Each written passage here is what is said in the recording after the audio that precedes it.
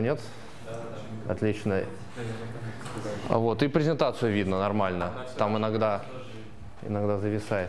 Ладно, ну тогда всем привет. Э, Поздравляю вновь прибывшее пополнение ММП с поступлением на кафедру ММП. Э, И при- рад приветствовать вас на курсе по математическим методам распознавания образов. Собственно говоря, что это будет за курс? Значит, изначально, когда этот курс только-только образовывался, то есть это было там в древние времена, когда еще кафедра только появлялась, э, вел этот курс профессор Леонид Моисеевич Мистецкий, возможно, кто-то из вас его знает, кто не знает, узнаете в следующем семестре. И на нем изучали математические методы распознавания образов.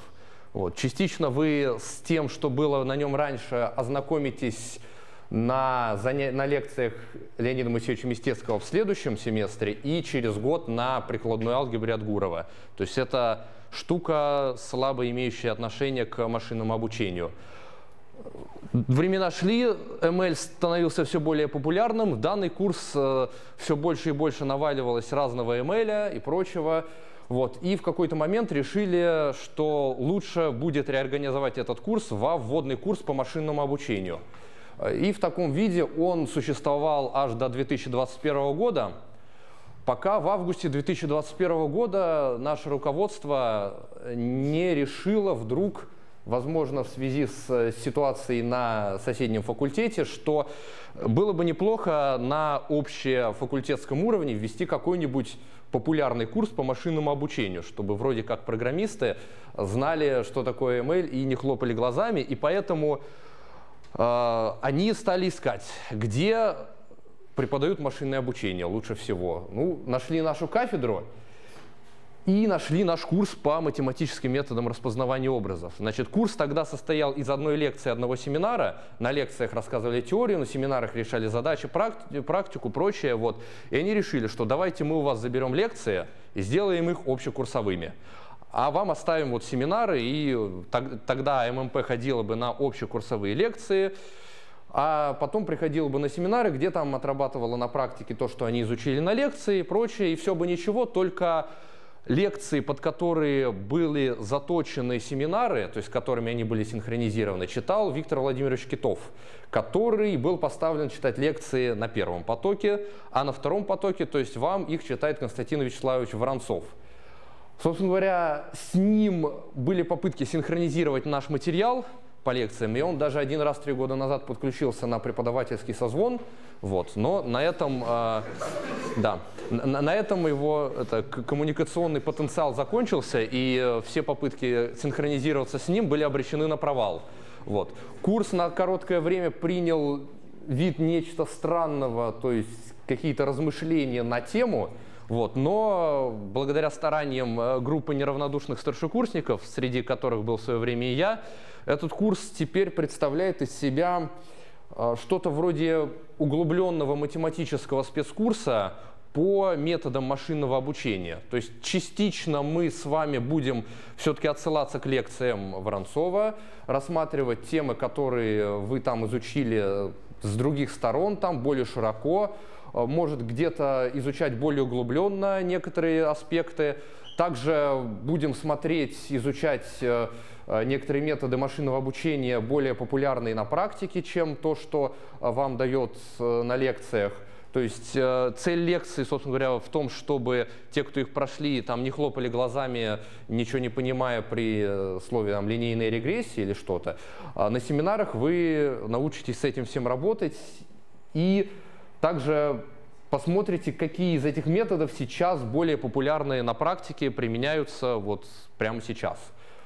По тому, как это все будет организовано, у нас, значит, смотрите, у вас будет лекция Воронцова по вторникам, э, методы машинного обучения пятой парой. Э, Рискованно. Ну, в общем, э, э, пятой парой, значит, будет лекции по машинному обучению. Наши семинары будут третьей, четвертой парой по четвергам. Значит, тут смотрите, какая штука есть. Значит, как вы видите, здесь стоит у нас две пары, два занятия. Это наследие, которое осталось еще с тех времен, когда этот курс был эксклюзивно для ММП. В общем, там в чем суть? В том, что, конечно, э, студенты кафедры, занимающиеся машинным обучением, должны сдавать экзамен по машинному обучению на оценку. Вот. Но есть что-то вроде бюрократического правила, которое обязывает все курсы, по которым в конце хотят организовать экзамен с оценкой, набрать определенное количество академических часов преподавания. И вот если оставить, если э, выполнить инструкции ВМК в точности, то есть лекции здесь, а семинары один в неделю, вот по четвергам, то количество часов будет недостаточным, и мы сможем устроить для вас только зачет. Поэтому было решено оставить два занятия по четвергам. Вот. И в связи с этим не всегда количество материала, которое мы для вас подготовим, будет забивать все две пары. То есть иногда мы будем заканчивать чуть пораньше, вот. Э, ну, то есть одну пару всегда будем занимать, иногда будем вылезать там на полторы пары, на две пары. То есть зависит от того, как мы сможем скомпоновать материал так, чтобы его рассказать э, понятно для вас. Э, так, что там дальше? Преподавательский состав по расписанию. Ну да, и как вы видите, дальше идет у вас э, занятие по практикуму. Э, мы будем, э, ну вы, наверное, не видите, вот, но они тут есть, практикум же, да? Да. Вот. Э, мы будем стараться моменты, когда у нас материала меньше, чем на две пары, синхронизировать с командой курса практикума, чтобы они начинали пару пораньше в дни, когда мы заканчиваем наши пары пораньше, и это выливалось для вас не в окно посреди дня, а в то, что вас пораньше отпустят. Но тут ничего обещать не могу, потому что э, у преподавателей там тоже свои расписания есть, и не всегда это возможно. Значит, по лекциям понятно, по преподавательскому составу. Я так и не представился. А, меня зовут Глеб. А, я здесь э, исполняю должность Народного комиссара внутренних дел – по курсу ММРО. Собственно говоря, моя задача э, заниматься всеми внутренними делами курса ММРО, то есть организовывать преподавание, организовывать подготовку материала, организовывать семинары, выдавать вам домашние задания, э, согласовывать материалы для новых семинаров, э, также организовывать экзамены и прочее. В общем, все орг-вопросы, связанные с э, нашим курсом по ММРО, вот по четвергам, который идет, это все ко мне, то есть э, там пишите мне в Телеграме, тегайте меня, то есть как угодно, в общем, э, спрашивайте меня, то есть это все ко мне. Также вы будете взаимодействовать, скорее всего, с Липкиной Анной, э, которая занимается координацией лекционного курса по машинному обучению. Возможно, вы с ней даже уже знакомы, если у вас уже создан чат по общефакультетскому ML. Вот, то есть, и, скорее всего, все сообщения там пишет она. В общем, она занимается э, координацией лекционного курса. Вот. И по всем вопросам взаимодействия с лекционным курсом, о которых я расскажу чуть позже, в общем, по этому всему обращаться к ней. Вот. И по лекциям Воронцова, если вопросы, то к ней лучше. Вот. И также вы будете э, общаться с Ольгой Кравцовой, это ученый-секретарь кафедры. Вот. То есть, скорее всего, если у вас будут какие-то вопросы, выходящие там за рамки данного курса или там как по какому-то межкурсовому взаимодействию, или там вам не понравится работа меня или Ани, то вот это к ней. Из всех э, неоморфных на данный момент членов кафедры она обладает наивысшей силой, то есть она это э, ученый-секретарь, тут нечего сказать. И также э, у вас будет большое количество преподавателей, то есть или проверяющих ваши домашние задания. Вот частично вы их можете видеть на слайде. Некоторые из, них отказались предоставлять свои фотографии, их здесь нет они будут проверять домашки. Вот, значит, они выполняют основную работу по проведению семинаров и подготовке материалов для домашних заданий, то есть я больше координационную работу осуществляю, проводить занятия будут вам в основном вот эти люди. То есть конкретно в данном семестре я, скорее всего, проведу только вводную лекцию, вот, остальные занятия будут проводить они. Значит, это в основном э, студенты или недавние выпускники кафедры математических методов распознавания образов, вот, которые там э, либо недавно выпустились, да, либо еще учатся. В этом есть как свои плюсы, то есть, то есть это люди, которые непосредственно вот работают как студенты и как выпускники вот в области машинного обучения и могут, которые недавно еще сами проходили разные собеседования там на разные курсы собеседования, там на стажировки работы и прочее. То есть и эти люди, как никто другой, сможет, смогут вам рассказать э, материал нашего курса в наиболее актуальной форме, который пригодится вам вот уже прямо вот там в ближайшее время. Вот. То есть э, лучше всего с этой задачей справятся они. Но с другой стороны, конечно же, не у всех э, так много преподавательского опыта, как хотелось бы. То есть некоторые из них э, могут, допустим, при чтении семинара акцентировать внимание на те аспекты, которые им самим в свое время были непонятны, при этом не имея, допустим, статистических данных о том, что более непонятно для студентов в среднем. Поэтому я призываю вас не стесняться и задавать вопросы, если что-то непонятно. То есть задавать вопросы на семинаре, задавать вопросы после семинара, задавать вопросы в общем чате, на них отвечу я или преподаватель. Вот, задавать вопросы в личку, если стесняетесь в общем чате. То есть спрашивайте, если что-то где-то непонятно, то подходите, спрашивайте, говорите, тем более, скорее всего, часть из вас с ними уже и лично знакома и взаимодействовала. Э, по тому, как э, у нас устроена система оценивания. Вот. Возможно, для некоторых э, из вас э, это новый формат, вот, для меня в свое время был новый.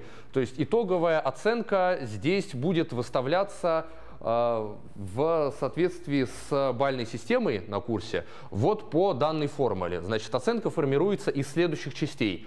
Первая, самая главная, самая весомая часть – это домашние задания. У вас по курсу осенью будет 5 э, домашних заданий, 4 практических и одно теоретическое. Вот. По каждому из домашних заданий э, домашние задания, задания вам будут выдаваться обычно на две недели, то есть плюс-минус. Значит, по каждому из них вам будут выставляться какие-либо оценки. Вот, э, то есть тут, возможно, стоит написать, значит, допустим, по каждому из домашних заданий будет основные задачи, то есть, э, допустим, пусть будет 10 баллов основных задачи и сколько-то бонусных баллов, то есть пусть будет 4 бонусных балла. Иногда будет 4, иногда 5, в зависимости, иногда 0, то есть в зависимости от того, сможем мы придумать или нет. Дальше все ваши полученные баллы за домашние задания э, суммируются, то есть вот сколько вы набрали по каждому и по каждой из домашек, вот это суммируется и делится на общее количество баллов, которые возможно набрать по всем домашкам без учета бонусов.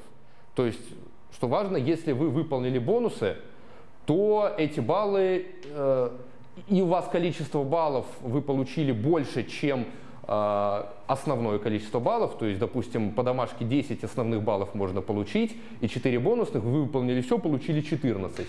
В, замена... в знаменатель, независимо от того, сколько вы баллов получили за домашку, всегда идет только основное количество баллов, которые можно получить. То есть бонусы это то, что вы сверху выполнили, э, то есть ваша возможность там, доработать некоторые моменты, которые вы там что-то пропустили, допустим, э, получили меньше баллов, чем хотели, вот бонусами можно добить.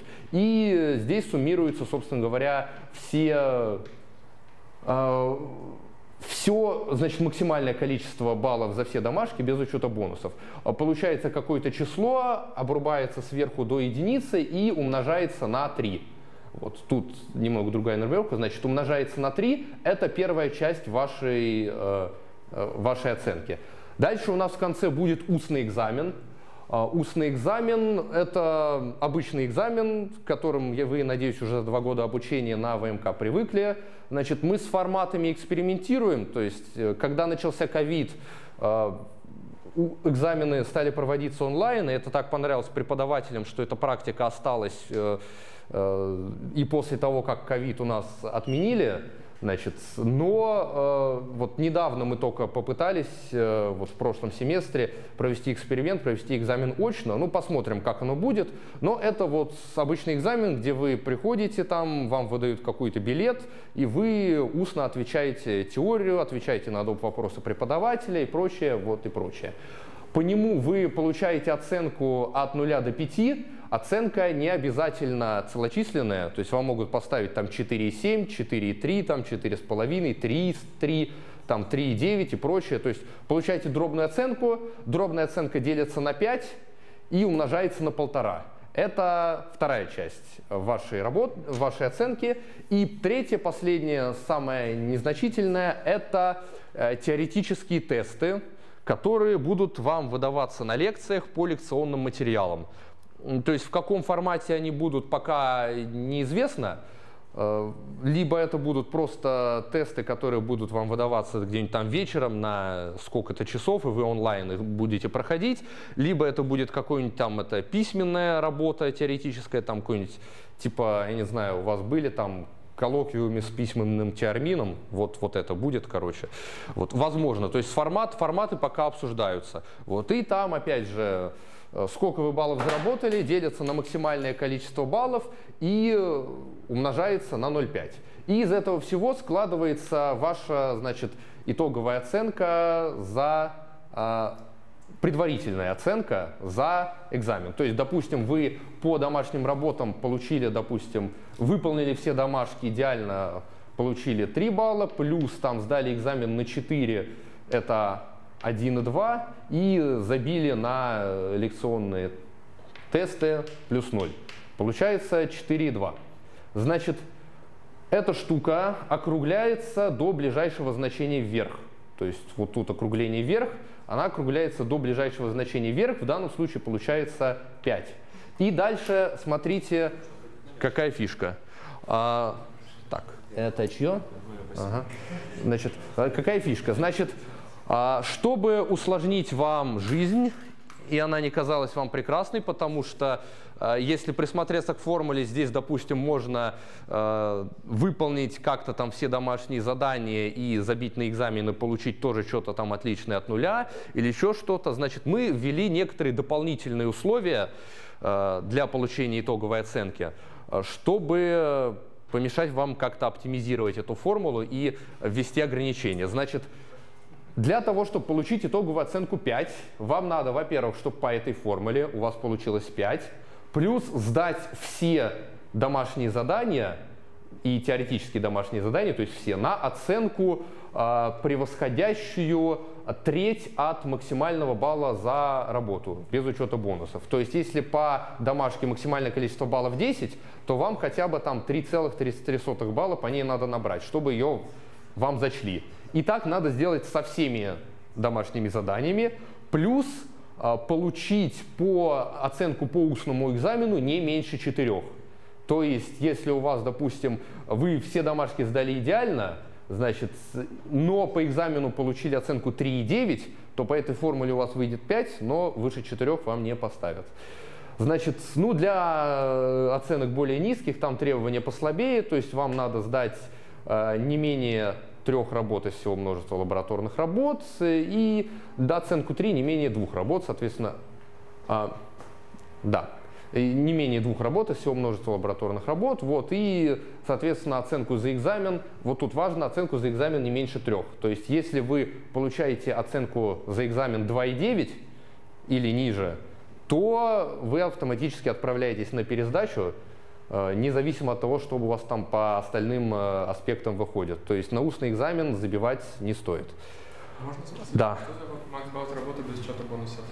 Макс балл от работы без учета. Скорее, что такое бонусы? Бонусы. Смотрите, э, я упоминал, значит, по каждой домашнему заданию у вас будет некоторое количество основных задач, некоторое количество задач со звездочкой. Вот. За основные задачи вам выставляются баллы, за задачи со звездочкой выставляются бонусные баллы. Вот. И вот без учета бонусов это значит, что э, максимальный балл это вот максимально возможный балл, который можно получить, если вы все сделаете идеально, но не будете делать задачи со звездочкой. То есть, вот. если мы слишком много бонусов получим, то не может быть пятерки. В смысле? Нет. Нет. Нет. Может, вообще звездочками покрыть обязательно. А там без учета бонусов. Да, без учета бонусов. Да. То есть как раз э, если вам домашние задания будут также объявляться, то есть в формате, что по домашнему заданию можно получить там вот 10 основных баллов и 4 бонусных балла. Вот. 4 бонусных балла это вот, они идут только в числитель в эту формулу, в знаменатель они не идут. То есть бонусы это то, что вы заработали, а макс-балл это вот э, это то, что надо сделать обязательно. Можно еще? Да. Правильно понимаю, что 0 за тесты на пятой паре, в принципе, не портит оценку, да? Э, ну, Ну, кроме да, то есть кроме пороговых ситуаций, вот, такое иногда тоже бывало, то есть когда там у вас, допустим, э, 3,9 выходит, а вот они там до 4,0 повышают, то да, никаких условий э, блокирующих на эту оценку не, э, не накладывается. Вот, вот. Плюс, да. Без учета штрафа это что значит? Без учета штрафа. А, да, значит, у нас будет система штрафов за, то есть у, у нас будет система дедлайнов э, с мягкими дедлайнами и жесткими дедлайнами. То есть, возможно, кто-то из вас по ней работал. Значит, в чем ее суть? Э, Вам будут даваться домашние задания, на них будет даваться какое-то время, значит, допустим, две недели. Через две недели наступает мягкий дедлайн. Если вы успели сдать домашнее задание до мягкого дедлайна, то никаких штрафов на вас не докладывается.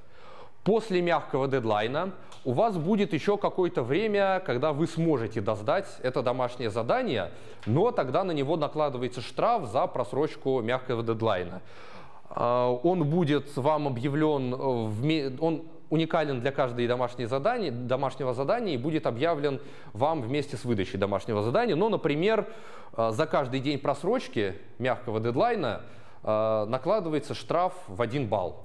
То есть, если вы там, вот если мягкий дедлайн объявлен через две недели, то, а вы сдали там домашнее задание через две недели и один день, то получается, что у вас э, итоговая оценка за домашнее задание – это э, баллы, которые вы заработали, минус один балл за просрочку мягкого дедлайна. Вот. То есть это вот система штрафов, чтобы э, сделать э, удобным планирование выполнения домашних заданий вами, чтобы вы не вспомнили, что у вас там 0 секунд осталось и все пропало. Вот. То есть сдать домашки после дедлайна можно, но, э, но вот со штрафом. Также будут жесткие дедлайны, обычно это через неделю после мягкого дедлайна. Если жесткие дедлайны вы просрочили, то за домашнее задание ставится 0. То есть тут как бы надо планировать свою работу. И вот здесь, э, в скобках, без учета штрафа, это значит, что э, домашнее задание вам необходимо сдать для получения оценки вообще хоть когда-то.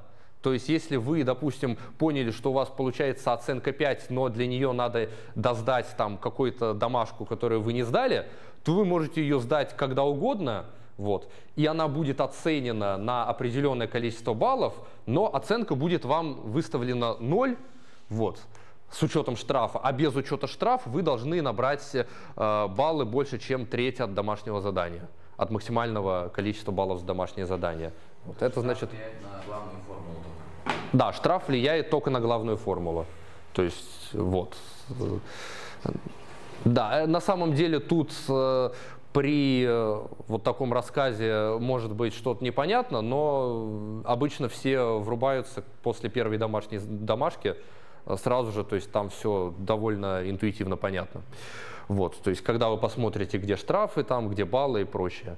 Вот. И также мы решили ввести некоторый элемент свободы для преподавателей, значит, и в начале некоторых семинаров у вас будут ам, ну, что-то вроде семинарских летучек, то есть в начале пары вот э, вам э, семинарист либо читает какую-нибудь там это, в зависимости от своего желания, либо читает э, там быстро освежает вашу память по предыдущему занятию, сам читая там материалы, либо же э, проводит какую-нибудь самостоятельную работу там на 10-15 минут, где дает вам разные вопросы вот по материалу предыдущих занятий.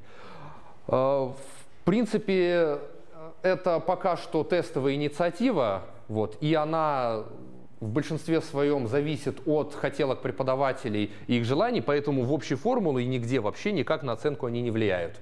То есть это вот чисто э, личное дело между вами и преподавателем. Вот, вот он захотел вам дать какой-то тест, вот на 10 минут летучку провел и посмотрел, что вы хорошо запомнили, что плохо запомнили, вот, что стоит повторить, что там стоит, э, что вы и так хорошо знаете.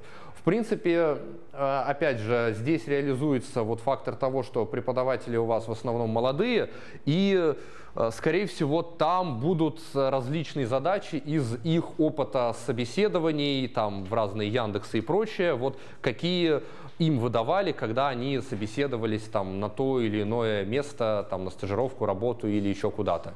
Вот. То есть, э, поэтому советую их проходить, вот, советую там к ним готовиться и хотя бы запоминать, какие вопросы вам дают, потому что это может быть полезно. Несмотря на то, что, опять же, повторяю, на формулу они не влияют, потому что даже я не знаю, какие вопросы вам зададут. Вот, это что-то полухаотичное. Э, так, также по курсу лекций у вас в конце будет э, зачет. То есть э, форма отчетности по лекциям зачет. И мы что придумали? Мы синхронизировались с лектором. Вот, и у вас этот зачет будет выставляться по нашим правилам. То есть по лекциям вам, возможно, сказали, что будут по лекциям выдаваться лекционные домашние задания. Вот от выполнения лекционных домашних заданий мы вас освобождаем. То есть вам их делать не надо, считается, что если вы можете выполнить домашние задания семинарские, то лекционные вы сделаете вообще легко. Вот. А, но опять же, мы освобождаем только от лекционных домашних заданий, от лекционных теоретических тестов это вот 0,1. Вот, то есть тут уже решайте сами. Значит, а, и зачет вам будет поставлен по лекциям автоматом, если будет сдано не менее двух домашних работ из всего множества домашних работ, опять же на оценку больше, чем треть от максимального балла. Вот, без учета штрафов. То есть э, это действует только для 317 группы. Вот, то есть вы, значит, делаете домашки, и по этим домашкам вам ставится зачет. Вот. Никаких лекционных условий для зачета, э, они для, на вас не распространяются, вам ничего делать не надо. По лекциям только ходить на них и тер-тесты проходить. Вот. Ну и также вопросы из лекционного материала будут в экзамене, поэтому тут как бы, на, если вы решили вообще на них не ходить, то на свой страх и риск. Вот. Также э, на данный курс, если я не ошибаюсь, курс по ММРО внесен в список э, спецкурсов, математических, которые, на которые могут, может прийти любой человек э, с нашего факультета. Вот. Если такие люди здесь есть, то для получения оценки по курсу ММРО вам надо выполнить все те же условия, то есть выполнить домашки, прийти на экзамен, и вам поставят оценку вот по той же формуле. Единственное, что если вы третий курсник, то э, с лекциями э, и с зачетом по лекционному курсу тут решайте сами. Вот, то есть на вас э, автоматическое освобождение от домашних работ э, не распространяется. То есть тут договаривайтесь с лектором, то есть если он скажет, что да, окей там, то без проблем. Э, я со своей стороны могу принять участие здесь в страдательном залоге и, допустим, предоставить ваш табель там, э, оценок, посещений и прочее. Вот. Ну, посещение у нас не учитывается, оценок вот, за домашние задания. Если он скажет, что окей, ставлю зачет, то окей. Но это уже личное дело между вами и лектором. Вот. Для 317 группы, опять же, вот, я все рассказал. А, так, по системе оценивания все. А, после а, вводной информации мы сделаем небольшой перерыв, вы можете это переварить. Значит, теперь обязательный слайд, который в какой-то момент я понял, что я вынужден ставить, потому что без него э, случаются страшные события. Значит, это в чем суть? Значит, смотрите. Дело в том, что в какой-то момент, значит, вы поймете, во-первых, что помимо курса ММРО у вас будут много других, ну, в, в данном семестре всего один, в следующем семестре несколько кафедральных курсов, по которым тоже будут выдаваться домашние задания, тоже на две недели по такой же системе мягких и жестких дедлайнов. И вы не всегда, э, то есть мы как, мы внутри самого курса синхронизировали выдачу домашек, чтобы они не, вы, не выдавались э, в наложение друг на друга по дедлайнам. То есть, если, допустим, мы выдали домашку, через нее и мягкий дедлайн через две недели, то мы во время действия мягкого дедлайна по домашке не выдаем следующее домашнее задание. То есть в рамках одного курса. Но в рамках разных курсов синхронизировать это гораздо сложнее, поэтому мы решили э, поручить эту задачу вам, вот, чтобы вы в зависимости от своих сил и возможностей пытались синхронизировать это все дело сами. Значит, какая будет система? Значит, вам будут выдаваться домашки, и если вы в какой-то момент э, поняли, что вы не успеваете сделать домашнее задание в срок, то вы можете писать в общий чат и просить перенос мягкого дедлайна по домашнему заданию. Вот. Обычно на э, курсе ММРО действует следующее правило, что если вы попросили перенести дедлайн по домашнему заданию за, за неделю до мягкого дедлайна по домашнему заданию, то значит, что вы ну, начали его делать, оценили там свои усилия, оценили загрузку и приняли решение, что, видимо, вот вы не успеваете сделать и практику, и ММРО, и там многие другие курсы вовремя, и просите продлить домашку, допустим, на неделю. В таком случае мы обычно продляем дедлайн по домашнему заданию без проблем. Если же вы просите перенести дедлайн по мягкому домашнему заданию за день до дедлайна, то, скорее всего, это означает, что вы сели за это домашнее задание за день до дедлайна. Вот. И, поэтому, и в таком случае уже положительное решение в вашу пользу не гарантируется. То есть Э, будем разбираться, почему э, и с вашей ситуацией. Бывают ситуации, когда мы продлим дедлайн, но, опять же, призываю вас садиться за домашки раньше. Если вы сели за домашки за неделю до дедлайна, это нормально, вот. Но если вы за день до дедлайна, то, ну, тут как бы уже пеняйте на себя, тут как бы э, все опционально и зависит от того, что то есть какая у вас ситуация и то есть, были ли какие-то причины того, почему вы не смогли распланировать свое время раньше. Вот. В принципе, э, если, допустим, вам выдали одновременно и домашку по практикуму крупную на две недели, и домашку по ММРО в один и тот же день, вот, то вы можете посмотреть их и в тот же день сказать, что типа нам выдали там две домашки э, с одними и теми же дедлайнами, вот, и перенесите, пожалуйста, дедлайн, потому что э, мы думаем, что не успеем. Вот. Опять же, в таком случае без проблем дедлайн перенесем. Э, да. Получается, человек просит перенести дедлайн, он переносит для него или для всех? Нет, это сейчас система переноса дедлайна для всех. А. То есть если, это если вы посмотрели, обсудили, значит, э, успеваете ли вы сделать домашнее задание или нет, э, и э, там, не знаю, какая у вас система в группе принята, там, либо большинством голосов, либо еще чего-то, пишите в общий чат, что вот мы 317 группа, не успеваем сделать в дедлайн, перенесите его, пожалуйста, для всех. Вот. Его тогда переносим, опять же, в зависимости от того, когда вы попросили.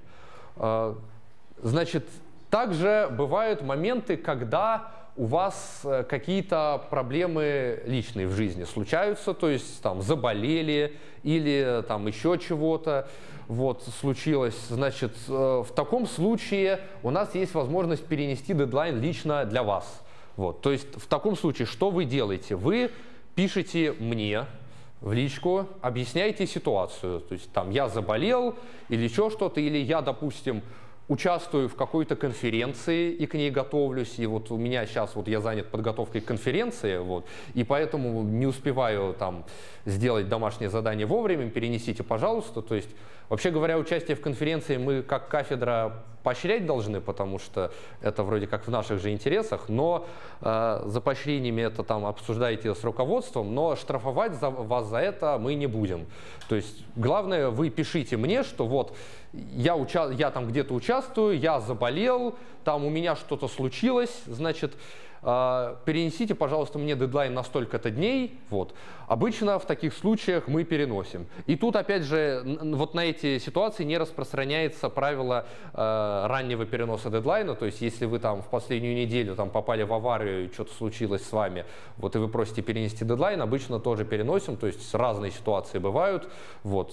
То есть, тут без проблем. И, опять же, Конечно, это не будет в формате, что там, что-то я устал, перенеси дедлайн, и я такой, окей, переношу. Я у вас, конечно же, потребую какие-нибудь там э, обоснования, типа там фотку справки, селфи из палаты, там ссылку на ваше участие в конференции и прочее.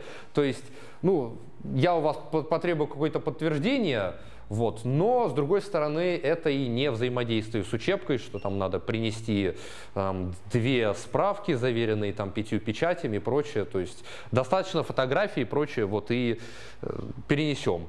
Вот. В принципе, вы можете спросить э, у э, ваших старших товарищей, там такие ситуации с ними возникали разные, вот спросите, как разрешались эти ситуации, то есть обычно это разрешается все в пользу студента, если только вы решите эм, решать эту ситуацию путем переговоров. Значит, из года в год бывают такие ситуации, когда студенты в какой-то момент осознают, что преподаватели и проверяющие домашние задания – находится от вас не так далеко, как раньше, то есть это не какой-нибудь там это 50-летний препод, который, значит, э, уже преисполнился вот, и э, ведет семинары, в общем, с точки зрения своего опыта, а это вот э, старшекурсники, с которыми вы, возможно, даже лично общаетесь в жизни и как-то взаимодействуете. Вот. И иногда случаются такие, такие моменты, когда в подобных ситуациях студенты решают читерить и договариваться лично с преподавателем, чтобы он ему зачел там какие-то не сделанные пункты и поставил э, значит, какую-то оценку выше, чем та, на которую он э, сделал домашнее задание, допустим. Вот. Опять же, это может случиться по разным причинам. Допустим, не обязательно из-за лени. Это может случиться, допустим, чел заболел постеснялся написать об этом э, в общий чат, или ну, в общий чат не надо писать, постеснялся написать об этом мне, вот, и решил договориться с преподавателем, что ну давай, ты же знаешь, что я и так знаю эту тему, давай ты мне там поставишь максимум за эту домашку, вот, а я ее делать не буду. Вот. Такие ситуации бывали, значит, это уже серьезное нарушение академической этики, и здесь уже будем решать вопросы по-другому. То есть вы таким поступком настроите против себя Э, большинство преподавательского состава, значит, и обычно, обычно решение уже будет не в вашу пользу и не настолько радужное. То есть у нас проводится выборочный чекинг-ворк э, проверок домашних работ. Если подобное обнаружится, то э, если в первом случае, когда вы написали мне и попытались решить этот вопрос со мной на официальном уровне, то будет там самое худшее, что вы сможете, самое худшее, что сможет с вами произойти, это э, я почему-то вдруг начну психовать и скажу, что нет, ничего я вам не перенесу, все, уходите от меня. Значит, После чего вы сможете написать, допустим, Оле Кравцовой, и, скорее всего, будут разбираться уже со мной, вот, и вам все равно перенесут дедлайн. Вот. То в случае, если вы попытаетесь зачитерить, то будет решаться вопрос о том, чтобы какую бы эффективную репрессию к вам применить. А, в лучшем случае мы просто вычтем половину всех заработанных вами баллов из всех ваших прошлых, настоящих будущих домашних заданий. Это мы можем сделать э, кулуарным решением преподавательского состава, но если будет особая фантазия и, допустим, кому-то не лень будет этим заниматься, то э, будем решать вопросы с учебной частью. Тут уже зависит от того, насколько активными окажутся преподаватели. Но штрафы по баллам настолько сильные, чтобы вы автоматически отправились на пересдачу по домашкам, мы, я вам обещаю. Вот. Поэтому, пожалуйста, не бойтесь писать мне в случае чего, значит, в случае любых проблем, по любым вопросам, пишите мне, будем решать с вами вопросы вот э, в формате адекватного диалога. То есть, опять же, спросите предыдущие поколения, вроде как ситуаций э, с неадекватным поведением преподавательского состава раньше не наблюдалось. Вот. Поэтому, пожалуйста, обратите на это внимание, значит, обратите внимание на эту картинку, значит, Возможно, для кого-то это, эта информация, это уточнение покажется очевидной, однако тут, знаете, как с техникой безопасности при обращении с оружием. На каждую тупой пункт в правилах. Э, есть несколько десятков не менее тупых историй, как кто-то умер, пытаясь это правило нарушить. Э, не создавайте такие прецеденты, пожалуйста, значит, э, взаимодействуйте с нами. Наверное, из всех прослушанных вами ранее курсов данный курс будет самый либеральный по взаимодействию со студентами. Но также и самый сложный, потому что, ну, как минимум один из самых сложных, потому что домашек будет много и не только по нему. Вот, так, значит, что, про формулу рассказал, про преподавание рассказал, про вольнослушателей рассказал. Э, вопрос такой, все ли добавились в организационный чат по ММРО? Если те, кто не добавился, если те, кто не добавился, то добавляйтесь, э, мы... Э, там будет основная информация по нашему курсу.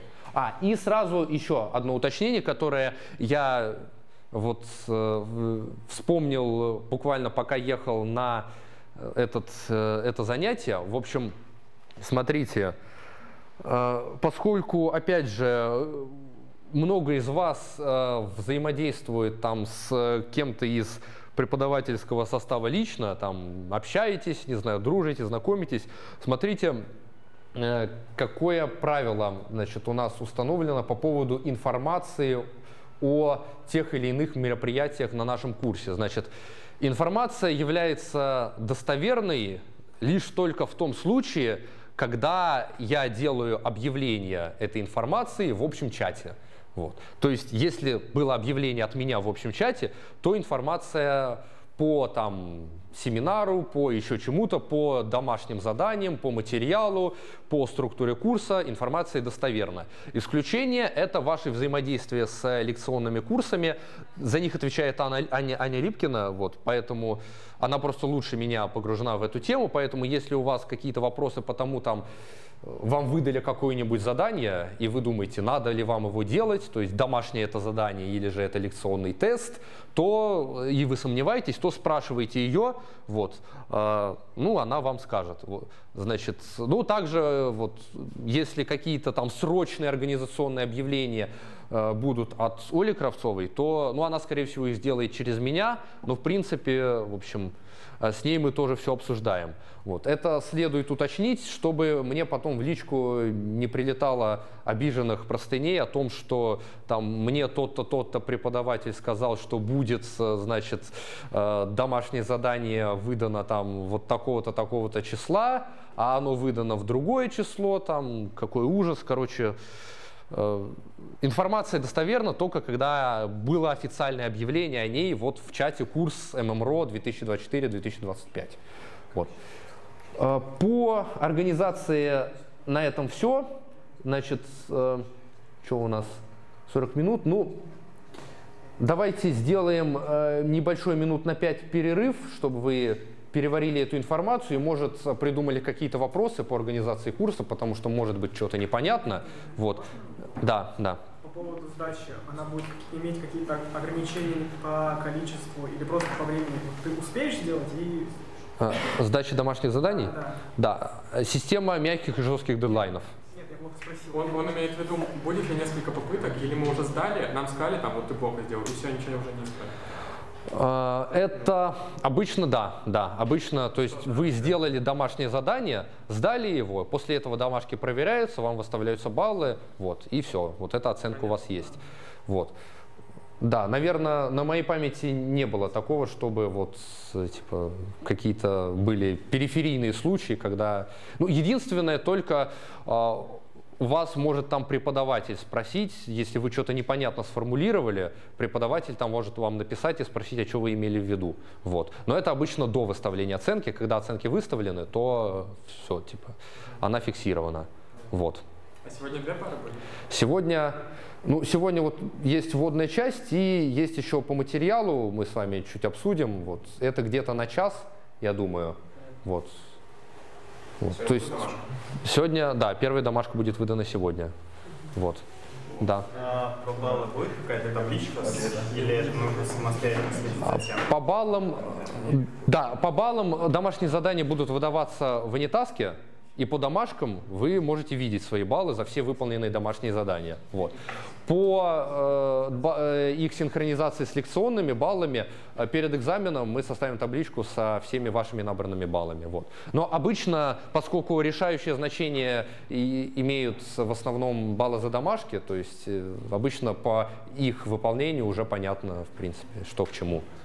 Там вот на сайте написано, и на лекции говорит, что в конкурсе, не знаю. Конкурсы? А что за конкурсы? А, конкурсы – это просто общая формула для э, и осеннего, и весеннего курса. То есть у вас э, весной по ММРО у нас э, есть практика давать вам какие-нибудь соревнования на Кегле в качестве домашних заданий. Вот это конкурсы как раз. А что там Воронцов еще говорил про соревнования? Это то же самое или это другое? Францов, на- Про свой про лекционный курс говорит, но может что-то уже было там. А, ну у нас обычно соревнование вот выдается весной, вот, как раз на лекционном курсе Воронцова. Вот, просто для вас по этому соревнованию будет особый бейзлайн, повыше, чем для остальных. Вот. Да. Давайте, да, 5 минут, 13.50, продолжим.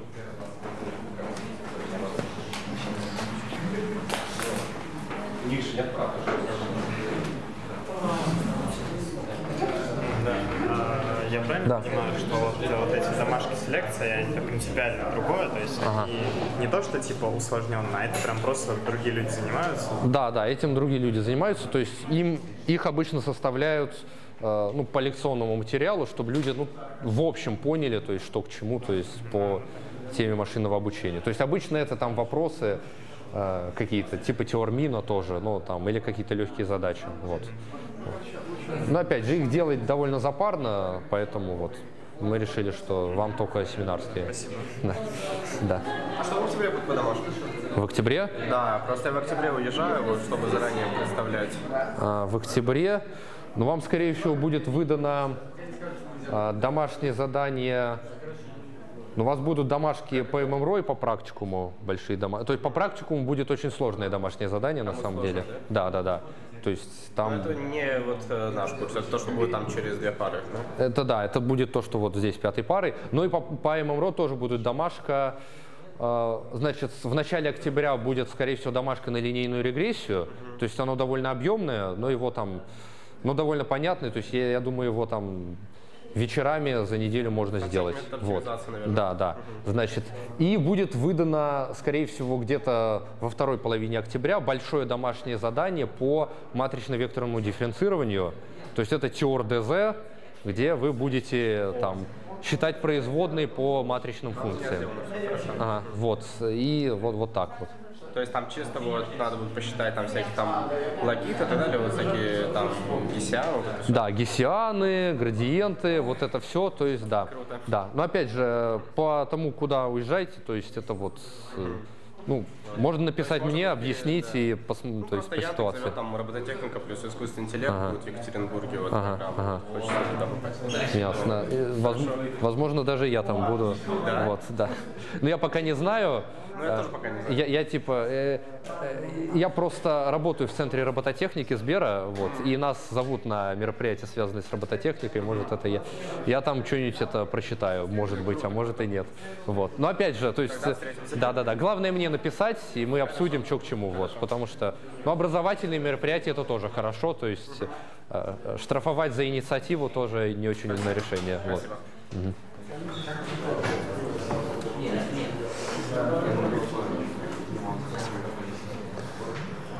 А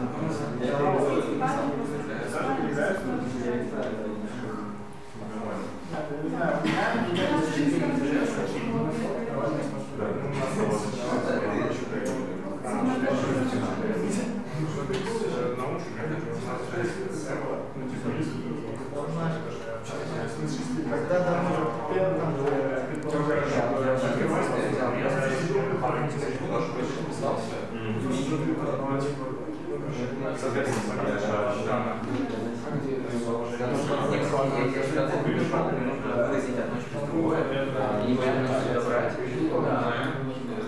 Я очень просто их скатываю по приколу, потому что, ну, наверное, то есть, не-не-не, это же кажется, что есть какой-то ГДЗ, или что-то такое. Это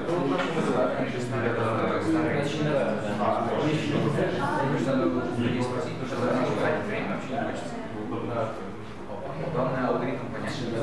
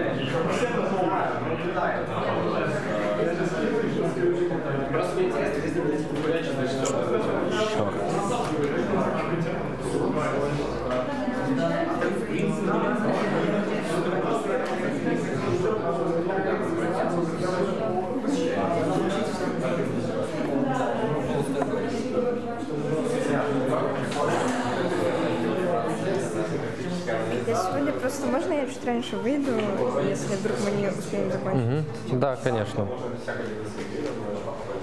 Так, давайте продолжим тогда. Сегодня будет, опять же, такой упрощенный день, поскольку первая лекция вводная, значит, скорее всего, закончим мы к трем часам. Вот. И э, мы договорились с преподавателем практикума, который будет вести практикум, что он тоже придет к трем часам, и вы следующую пару начали пораньше. Что? Да. Значит, э, смотрите, сейчас мы обсудим основные некоторые моменты по пониманию ММРО, если бы он еще подключался и отвалился. Значит, э, пока что, скажите, у вас же была лекция от Воронцова Константина Вячеславовича, да? Вот. Что он, чё он вам там рассказал? Базу. Базу? Так. Так. Ага. Сказал, Ага. Ага. Ясно. цели, задачи. Ну да, да. А постановку задачи вам рассказал? Мне интересно, в каком виде сейчас он вводит определение машинного обучения ДНК? ДНК? Мгм. Замечательно, отлично. Значит, а, просто дело в том, что, смотрите, а, машин... С чего бы начать? Смотри, дело в том, что а, ну вы как, вы вот на первом курсе у вас был, допустим, какой-нибудь Линал Матан, науки, которые там существуют уже там хрен знает сколько лет, которые, в которых уже люди более-менее устаканились по своим там э, э, предпочтениям, там составили какое-то последовательное повествование, что еще выходит, что к чему там, есть какая-то система определений и прочее. Вот, то есть, ну там, ну более-менее все с этим делом нормально. А После чего вот на втором курсе а, был такой курс, называется «Операционные системы». Может, сейчас он даже есть. Значит, а, он, собственно говоря, рассказывает вам про значит, э, работы с операционными системами, там с языком C и с прочим. И эта тема уже появилась там менее ста лет назад.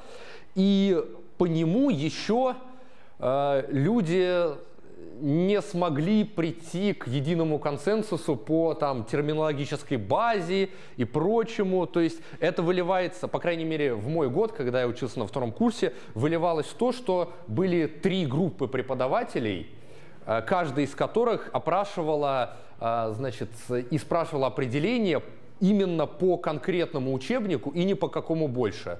У нас это был, значит, э, э, Осипа Машечкину, Осипа Столярову и Осипа Таненбауму. Вот. И, собственно говоря, если ты будешь э, говорить определение из какого-то другого учебника, не из того, по которому они опрашивают, то ты отправлялся на пересдачу, и, в общем, э, было все плохо.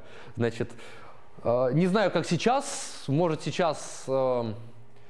Сейчас, как минимум, с факультета ушел Андрей Викторович Столяров. Не знаю, кто-нибудь знает его из вас? Да. Он это, у меня практикум на ЭВМ вел. Классный человек. Вот. А, Значит, э, да. А, К чему я это говорю? К тому, что в машинном обучении все еще хуже в этом плане, а, потому что оно появилось в том виде, в котором его сейчас изучают вообще недавно. То есть, конечно, алгоритмы по ML там появились еще в годах 80-х, но активно их форсить стали вот с 2012 года, вот после появления AlexNet и прочего. Э, Поэтому даже какой-то единой терминологической базы по ML нет, и у каждого свое понимание даже границ областей ML. И, то есть некоторые, допустим, есть люди, которые не считают нейросети частью машинного обучения. То есть они говорят, есть машинное обучение, это всякие там, это, значит, регрессии, КНН и прочее, а вот нейросети это глубокое обучение, это уже другая область. Вот. По-моему, плейлист э, э, этого лекции по ADL, которые вот у вас будет, вам будут читать в шестом семестре, вот его читали в предыдущем семестре, на канале Никитина назывались лекции по глубокому машинному обучению. Вот. А, Формулировка классная, вот, но опять же, то есть, может ввести в заблуждение. Да. В общем, к чему я это говорю? К тому, что будет очень много ситуаций, когда, допустим, на лекциях вам вводят какое-то понятие, какой-то алгоритм э, одним образом, а на семинарах вводят его другим образом, вот, с другой стороны. Вам там на лекциях дают какое-то одно определение, на семинарах похожее определение, но другое. Значит, здесь есть э, хорошие новости в том, что, э, ну, во-первых, не пугайтесь, то есть если вы пойдете на какой-нибудь курс ШАДа, там, не знаю, что сейчас вместо техносферы, э, как она называется, в общем, или еще где-нибудь, в общем, вам там дадут еще третье определение, в общем, не пугайтесь, то есть наука настолько молодая, что преподаватели ее сами еще сами понимают, что никакой общей терминологии нету, и в частности на экзаменах мы не будем вас спрашивать конкретные определения вот именно в том виде, в котором они вам давались на семинаре. Вот. Мы будем спрашивать суть и понимаете ли вы там то или иное понятие правильно или нет.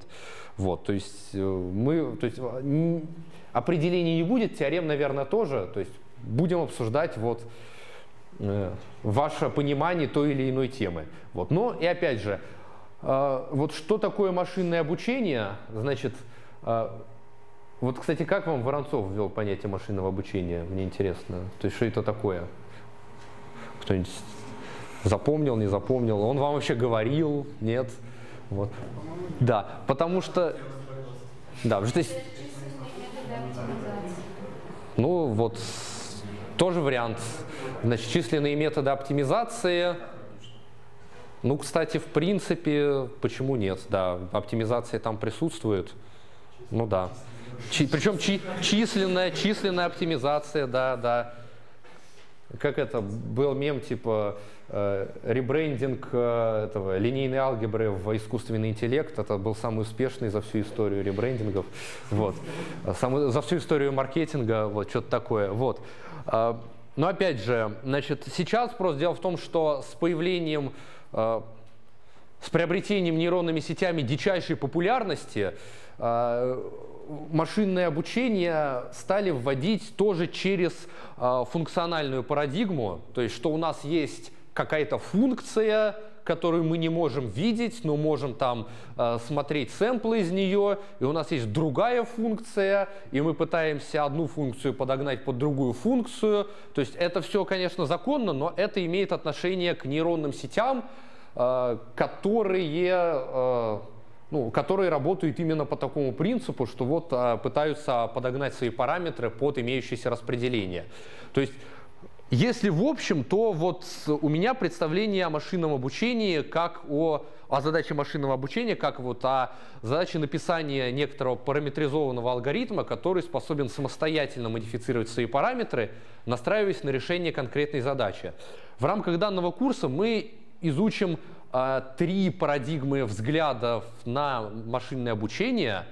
Э, первое, можно даже написать, э, я ноутбук не, вы, не вынес, то есть первое это метрическое. То есть что, что там будет, вам же там ввели всякие понятия, там обучающая выборка, там таргет, прочее. То есть у нас есть э, объект, значит э, описание объекта x, значит обучающая выборка x большое, э, некий таргет. И мы что говорим? Мы говорим, что окей, наша цель, вот у нас новый x с чертой приходит, вот новый объект. Мы говорим, что, ага, значит, давайте исходить из предположения, что а, объекты с одинаковыми или похожими метками будут также примерно похожи в признаковом пространстве. То есть, опять же, x у нас, э, тут, возможно, есть некоторые моменты очевидные там для э, и не неочевидные для разных э, людей. То есть тут есть вот признаковое описание объекта. Вот, значит, и мы говорим, что вот э, в признаковом пространстве похожие объекты имеют э, похожие метки. Вот. И задача э, наша вот в данной парадигме является, во-первых, в том, чтобы э, найти, найти э, метрику, э, вот, по которой похожие, значит, похожие объекты с похожими метками будут похожи в признаковом пространстве, то есть там вот x, z. А, вот. И также настроить. Настроить настроить эту метрику так, по обучающей выборке так, чтобы действительно объекты по ней были, по этой метрике с похожими метками были похожи. Ну, то есть там выбрать, допустим, какую метрику, там какую-нибудь Евклидову, Манхэттенскую, там, Махаланобиса расстояние и прочую дичь, которую вы потом изучите. Вот. И, кстати, отчасти в этом будет заключаться ваше задание по практикуму. Значит, ну и в чем тут суть? Да, после этого решаем задачу следующим образом. Смотрим по этой метрике, какие объекты близкие к нашему рассматриваемому объекту. Вот, и говорим, что ну вот смотрим на их метки и говорим, что ну окей, там усредняем ее как-нибудь, может усредняем с весами там и говорим, что вот наше итоговое предсказание. Вот. Опять же, здесь мы смотрим на, на объект на обуч, объекты обучающей выборки, как на некоторые объекты в признаковом пространстве. Вот, и смотрим э, и, и говорим, что они осмысленно расположены с точки зрения какой-то метрики между ними. Вот. Это то, что мы изучим первым, то, на что будет у вас первое домашнее задание по практикуму. Значит, к этому классу там относятся всякие, всякие э, методы типа там КНН, этот ядровой КНН, там, э, этот, э, кластеризация тоже частично в, это, в этом же классе находится, ну, там уже имеют свои аспекты, но, значит, в ней же. Вот. Дальше вторая парадигма, которую мы изучим, это функциональная.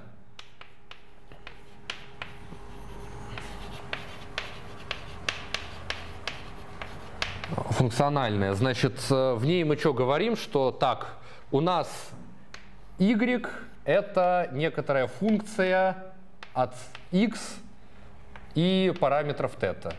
Вот. И мы, мы, значит, наша задача в чем? Наша задача выбрать эту функцию, общий вид ее какой-то параметризуемый, значит, э, выбрать, значит, ее и настроить параметры θ таким образом, чтобы эта функция была больше всего похожа, выдавала метки наиболее похожие на реальные метки вот из нашей обучающей выборки. Вот. Ну, из этого, значит, из этой функциональной парадигмы метода это там какой-нибудь линейная регрессия, нейросети туда же идут, значит, э, ну, то есть в их базовом понимании, значит, э, дальше что-то, ну, в общем, вы это изучите, там, всякие линейные классификации, прочее, вот, это функционально, это третий метод, и, это второй метод, и третий, собственно, третья парадигма, логическая, логическая парадигма, значит, э, это решающие деревья, э, градиентные бустинги на решающих деревьях и же с ними. Э, как мы здесь смотрим на данные? Мы смотрим на данные не как на однородные значения в каком-то пространстве, а как на осмысленные признаки. И делаем предположение, что э, для того, чтобы сделать вывод о том, какую метку присвоить тому или иному новому объекту, надо задать, обучающий, надо задать э, объекту, а, надо задать описываемому признаком описывающим данный объект, ряд вопросов. Допустим, если мы решаем какую-нибудь сотни раз изнасилованную всеми преподавателями email задачу предсказания цен на квартиры, значит, то там у нас есть э, признаковое описание в духе там расстояние до метро, значит, площадь квартиры, там еще что-то, и мы говорим, что ну вот, если там расстояние до метро меньше какого-то расстояния, то, значит, у нас э, цена будет больше, чем такая-то. Если у нас при этом еще и площадь там э, меньше, чем такая-то, то цена уже там, диапазон цен снижается. Снижается, и вот э, предсказание итоговое делается в виде последовательной задачи вопросов, то есть там задаем вопрос какому-то из признаков, делим выбор, делим Относим, значит, э, наш объект э, к одной из частей. Дальше здесь задаем вопрос соответствующей шине, делим там, может, на три части, значит, попадает сюда, опять же вопрос. И так до тех пор, пока мы не попадем в какой-то лист, где э, разброс, ну, в общем, меток минимальный, вот, и делаем предсказания на основе вот рассмотрения объектов, которые находятся в вершине, к которой мы в итоге пришли решающие деревья вы подробнее это изучите на лекциях и семинарах по решающим деревьям. Вот сейчас я вкратце рассказал суть. Значит, э, ну в чем их плюс? В том, что их очень легко программировать на каких-нибудь плюсах. То есть вы берете, обучаете их в питоне, вот, и после этого берете просто веса и и фелсами, значит, просто простыней переносите в плюсы и ускоряете работу своего алгоритма там в 500 тысяч раз. Вот.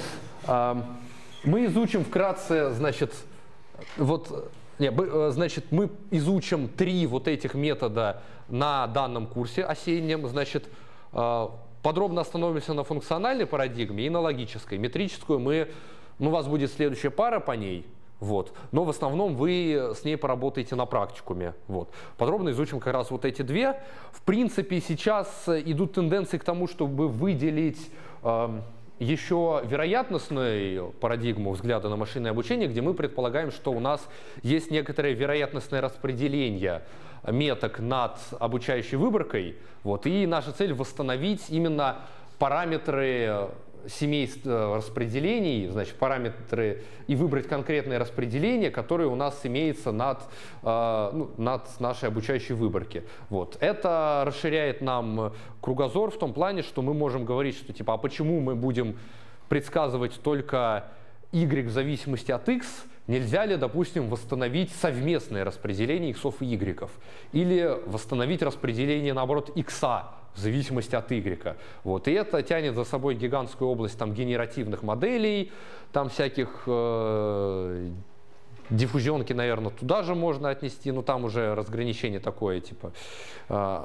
условное. Вот. Ну, в принципе, это вы изучите подробно через год на курсах байсовских методов машинного обучения. То есть он будет прям целиком об этом весь. Вот. Ну, может, кто-то из вас Э, кто имеет отношение к этой группировке Ветрова в вышке, вот, тот э, познакомится с ними чуть раньше. Ну, опять же, все, все относительно. Я даже не знаю, кстати, кто ее сейчас возглавляет. Ветров же вроде уже не в России. Но не знаю. Знать... Что? У нас никого не набирали. Не набирали? Мне кажется, кто-то есть оттуда? Нет? Да. Ну, да, там что-то в последнее время ужесточили. Да. Там ужесточили наборы, просто раньше, типа, студенты, которые попадали там э, к Кропотову и прочей старшей братве из BS Group, они туда автоматически уже записывались, вот, и там находятся. По крайней мере, мои одногруппники вот 4 года назад, они на третьем курсе туда так и прошли. То есть все, кто там у Дим Саныча или Петрович, по-моему, тоже набирал тогда э, себе студентов по научное руководство. Их сразу же автоматически туда записывали. Но сейчас вроде сложнее. Но опять же, не знаю, сейчас преподавательский состав кафедры расширился, поэтому я не решусь сказать, кто конкретно оттуда, в общем, из Bayes Group пришел. Вот. Но там, ну ладно, это после уже семинара можно рассказать. А то сейчас наговорю что-нибудь под запись, а потом окажется неверным. Да, значит, э, ну в ноутбуке здесь э, что, основная суть в чем? Я весь ноутбук подробно вам рассказывать не буду, вот, потому что тут много очевидных определений, которые вы довольно быстро поймете, э, просто поработав на практике с ними. Но, значит, э, базовые моменты, базовые аспекты в чем заключаются? Допустим, у нас есть какие-нибудь данные, вот, X-train, вот, и метки Y-train, вот в одномерном случае мы нарисовали их на графике и вот получили вот такую картину. Подумав некоторое время мы поняли, что это, собственно говоря, парабола. Вот. И оперируя знаниями из мат-анализа, э, значит, э, мы решили аппроксимировать вот это распределение по имеющимся данным какой-то параболой, формула там... Да, да, да. Я, я сейчас просто завис над тем, чтобы правильно ли называть или это параболой, или называть это кривая второго порядка. Вот. Ну, короче, пусть будет парабола, ее формула ax квадрат плюс bx плюс c. Вот.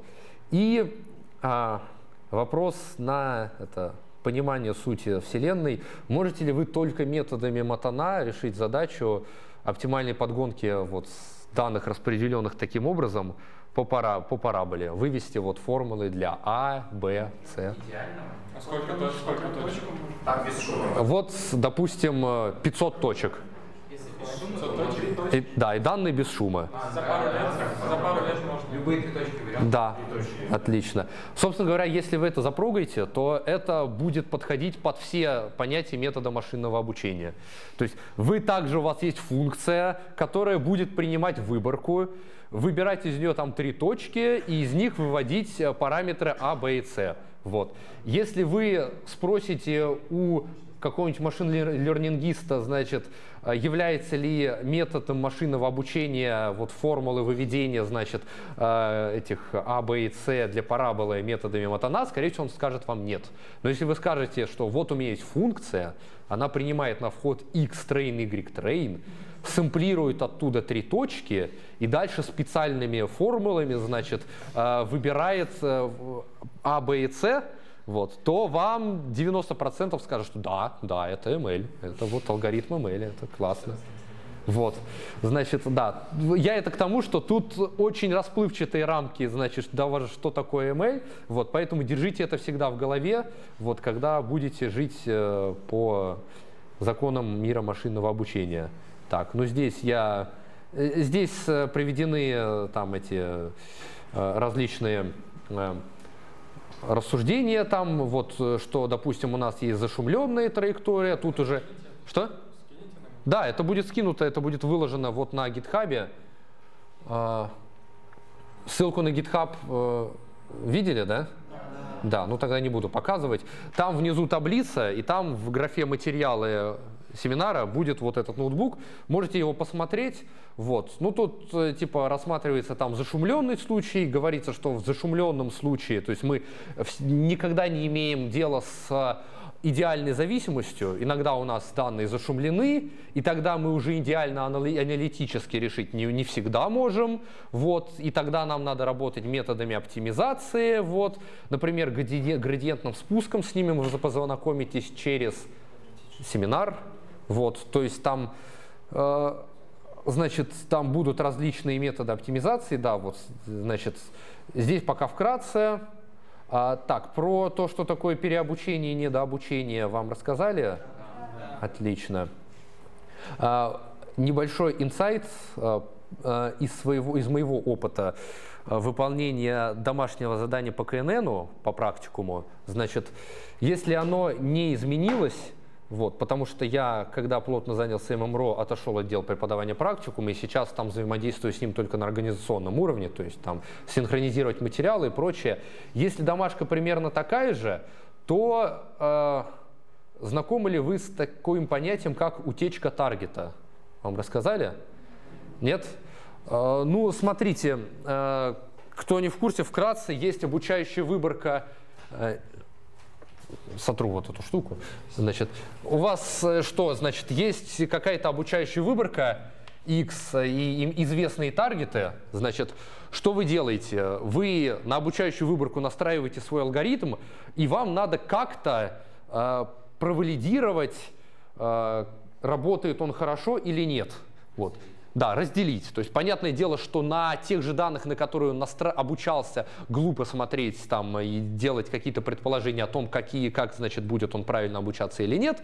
И один из типа прекрасных, одно из прекрасных решений это разделить эту выборку на обучающую вот, и, и тестовую, ну и валидационную, будем говорить, валидационную. Вот. Потом эти понятия у вас схлопнутся, но пока будем это строгую терминологию. Значит, валидационную обучать на X-train, Y-train, а смотреть качество на валидационной.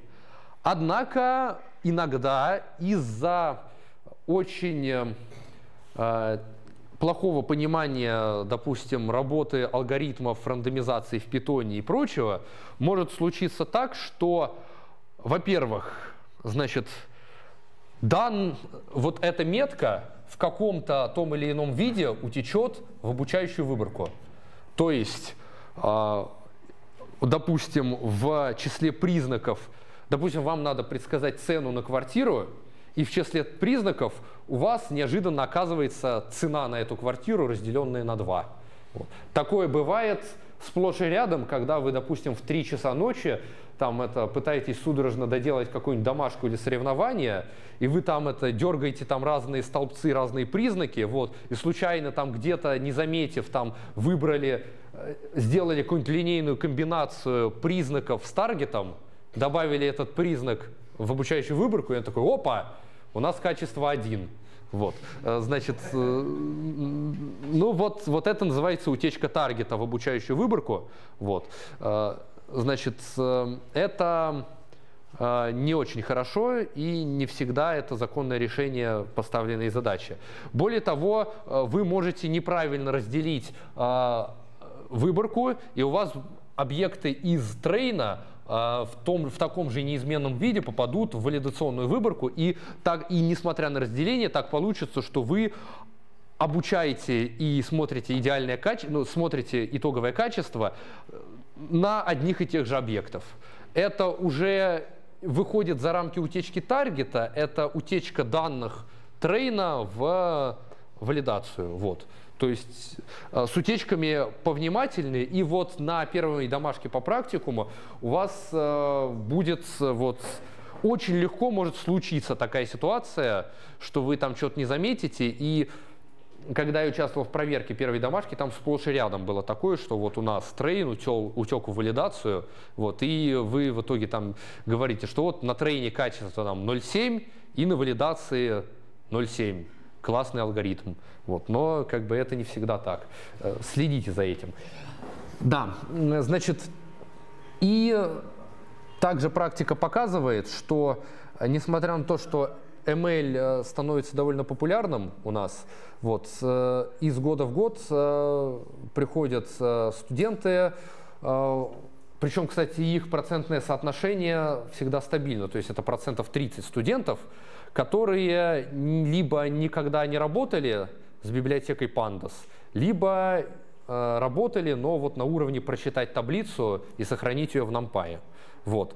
Значит, Поэтому вводный семинар мы обычно посвящаем краткому э, ознакомлению с библиотекой Pandas. И на работу с библиотекой Pandas у вас будет первое домашнее задание выдано, которое будет выдано сегодня. Значит, ну, в чем ее суть? Значит, э, обычно методы классического машинного обучения работают с табличными данными, Вот. И на них э, эти методы машинного обучения начались. И более того, в применении к табличным данным э, периодически в некоторых э, Kaggle'овых конкурсах разные ансамбли бустингов, то есть логических методов этих обучения вот там на деревьях, значит, до сих пор бьют нейронные сети. Поэтому принято рассказывать весь классический ML вот, а именно ML вот без нейросетей и там байесовских методов, именно на примере работы с табличными данными. И для работы с табличными данными в мире ML принято использовать такую библиотеку, как Pandas. Вот.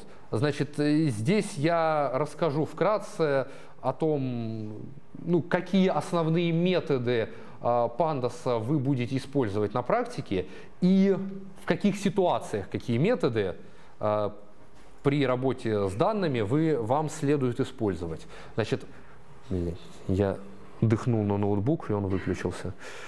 Значит, а, сначала скажите мне, а, работали ли вы раньше с такой темой, как Jupyter Notebook? Да, ну не все, так понимаю. А Colab это то же самое? Или... Colab, да, по, по сути то же самое, да. Значит, ну, если вкратце, то э, весь ML сейчас э, программируется на языке Python. Вот. И для работы с Python э, в ML-сообществе принято использовать такой, э, такую тему, как Jupyter Notebook. Это интерактивный интерпретатор языка Python, который также поддерживает э, теховскую разметку в комментариях э, к коду. Вот. И в нем, собственно говоря, можно не только писать код, но и удобно оформлять отчеты в теховской разметке. Вот.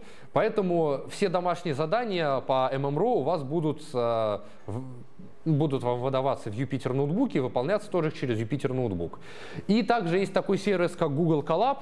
Это значит, при подключении к этому сервису на гугловских серверах э, у вас появля... вам заводится виртуальная машина, на ней заводится Jupyter ноутбук, и к вам, вас к нему подключают через веб-интерфейс, который имеет тот же самый интерфейс, что и Jupyter ноутбук. Значит, а, что в этом хорошего? Я советую вам выполнять все домашки сразу через Google Colab. Вот. Э, подробнее про него, скорее всего, вам расскажут на практикуме вот, в 15 часов. Вот. Но если вкратце, то есть э, пишите просто Colab в поисковике, вот, у вас открывается либо сразу эта вкладка, вот, либо по первой ссылке в Гугле, короче, открывайте коллаб, значит, берете открыть блокнот или загрузить блокнот и создаете свой блокнот. Все. Подробнее на курсе практикума задавайте вопросы им. Чем это полезно? Тем, что э, пока что у вас не наработана интуиция работы с большими данными, ну или не у всех наработана, вот. Э, у вас даже при работе с э, не очень тяжелыми данными, типа там таблица полтора миллиона на 8 тысяч там каких-нибудь признаков, вот, вы можете там по ошибке ее случайно скормить целиком в какой-нибудь алгоритм, и он внутри у себя из-за тоже неэффективной реализации забьет вам нахрен всю память оперативную в ноутбуке, и он превратится в кирпич, который можно выключить только аварийным выключением. Вот. Если это произойдет у вас локально на Jupyter ноутбуке, то вот придется э, раскирпичивать ноутбук. Если это произойдет в Google Colab, вас просто дисконнектнет от коллаба, и вам надо будет только перезапустить ноутбук. Вот. В принципе, у кого были достаточно юморные преподаватели практикума вот, на втором курсе, то э, вы можете уже знакомы быть с такой ситуацией, когда у вас программу этого интерпретатора командной строки shell проверяли на утечке памяти, направив туда вывод команды yes, который бесконечно туда шлет y. И если у вас есть утечка памяти, то у вас утекала вся память, и э, этот ноутбук из вас тоже превращался в кирпич. Значит, э, также это дело поддерживает выполнение стандартных команд из командной строки с восклицательным знаком, то есть с восклицательным знаком перед ними. То есть если вы хотите выполнить какую-то команду командной строки, пишите восклицательный знак, какой-нибудь ls, и он э, выведет вам, соответственно, э, вывод этой команды. Только надо подождать, пока он это сейчас подключится через VMK-шный Wi-Fi. Вот. Ну вот видно, что тут вот одна директория в текущей рабочей директории, это вот sample data. И также вот стандартные команды по загрузке данных в get через облачный интерфейс. Вот получаем наши таблицы в Excel. Это сейчас мы будем рассматривать все на примере а, таблиц, а, взятых из анкет студентов, а, которые распределялись на различные которые распределяли свои приоритеты при выборе спецкурсов по выбору вот э, в каком-то из семестров обучения. Я так подозреваю, это откуда-то с вышки. Таблица, потому что у них там эта фишка есть с приоритетами на спецкурсы. Вот. Ну, в общем, да, студенты заполнили анкеты, значит, получили э, эти анкеты распартились в excel данные, значит, и что нам, значит, надо сделать? Ну, во-первых, импортировать pandas, а, принято сокращать его до PD.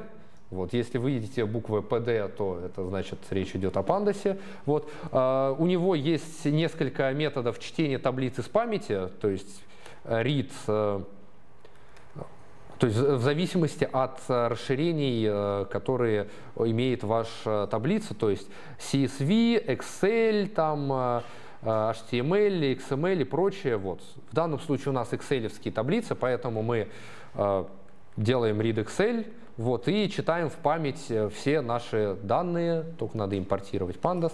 Читаем в память наши таблицы, вот они прочтены, и мы можем на них посмотреть в удобном интерфейсе вот Юпитер ноутбука. Значит, он выведет нам вот первый сколько-то строк, последний сколько-то строк таблицы, вот, пронумерованные, и также вот э, покажет название каждой из колонок, то есть что кто означает. Значит, убедительная просьба, пожалуйста, значит, может даже за это штрафы введем. Короче, при выполнении домашнего задания на Pandas – там у вас будут задания типа выведите результат работы той-то, той-то функции, значит, э, или выведите полученную таблицу после там, применения таких-то операций, выводите ее именно вот таким способом, как вот показано э, в данном ноутбуке, то есть просто пишите переменную, она вам выведется. Никогда не выводите ее через print, потому что есть... Что? Если выведете ее через print, она выведется вот, вот в таком виде. Вот. Вот. Это абсолютно нечитаемый вид, который невозможно проверять. Да, да, да, да. То есть print, дата, имя. То есть тут имя. Ноутбук будет скинут вам, в общем, в, э, в этот, в ну, на гитхабе, вот, вы можете посмотреть все. Также будут ссылки даны на документацию. То есть цель данного семинара скорее чтобы вы запомнили основные моменты работы с пандасом и при случае чего могли открыть материалы семинара и посмотреть, э, как э, та или иная функция работает. То есть там как-то пытаться запомнить на семинаре там э, профили вызова тех или иных функций, там как это было на, на осях, это не надо, тут вы, у вас памяти не хватит. Вот, но надо. Значит, также бывает полезно посмотреть, сколько у нас данных вообще есть, то есть это делается, вот тут, кстати, э, у некоторых людей, любителей языка C и C++, каким являлся я на втором-третьем курсе, может случиться небольшой инсульт. Да, мы сейчас просто напрямую обращаемся к полю объекта класса, вот. И более того, некоторые поля объекта класса мы просто напрямую можем изменять. То есть никаких э, там это set, перемен, set поля, там и get и прочее, никаких, да, никакой защиты нету и никаких э, работ с полями э, объекта класса через методы этого объекта не всегда есть. Поэтому добро пожаловать в Python, как говорится, вам будет плохо. Вот. Значит, ну, в общем, в поле shape хранится, э, хранится вот Э, сколько у нас строк и столбцов в данной таблице прочитаны. Ну, тут вот 223 строки и 12 столбцов, 12 колонок. Вот, значит, э, дальше один тонкий момент, который, на котором вы можете огрести много ошибок при работе с э, пандасом и с ML. Значит, в пандасе есть два основных типа данных. Это data frame и data series. Вот. Эти объекты, их различие лишь только в том, что датафрейм, он двухмерный, то есть это двумерная таблица, а дата серия это она одномерная. То есть таблица с одной колонкой или с одной строкой. То есть вот выглядит она вот так, то есть тут есть вот только айдишник. А если вы выдернете строку из таблицы, потом покажу, как это сделать, вот, то будет тоже дата-серия. Вот. И э, в чем прикол? В том, что некоторые методы работы с датафреймами отличаются от методов работы с Data Series, и вроде как функции, которые делают одно и то же а, для DataFrame и Data Series, иногда имеют разные профили и разные названия. Поэтому это может вам создать серьезно проблем при попытке обобщить выполнение вашего кода, то есть он, если вы там сделаете, допустим, какую-нибудь работу с допустим, выдергиванием каких-то столбцов из вашего датафрейма вот, и работу с ними, то методы работы с ними будут отличаться для, э, в зависимости от того, сколько колонок вы выдернете, одну или несколько. Вот. И на, с этим может быть связано много ошибок, вот, поэтому держите это в памяти и всегда контролируйте. Вот. И, возможно, если у вас выйдет ошибка в духе там э, не существует такого метода для данного типа данных, скорее всего, это вот связано с тем, что вы выдернули там одну колонку и пытаетесь с ней работать как с датафреймом. Зачем это было сделано, это вопрос к создателям Pandas, вот, но это так.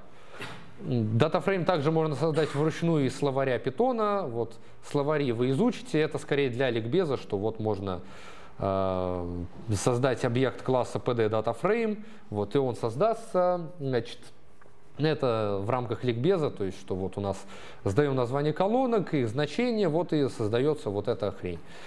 Можно частично отобразить также наши данные, то есть чтобы отобразить последние две строки, э, вызываем метод tail и указываем, сколько строк надо э, отобразить. Чтобы отобразить первые сколько-то строк, вызываем метод head.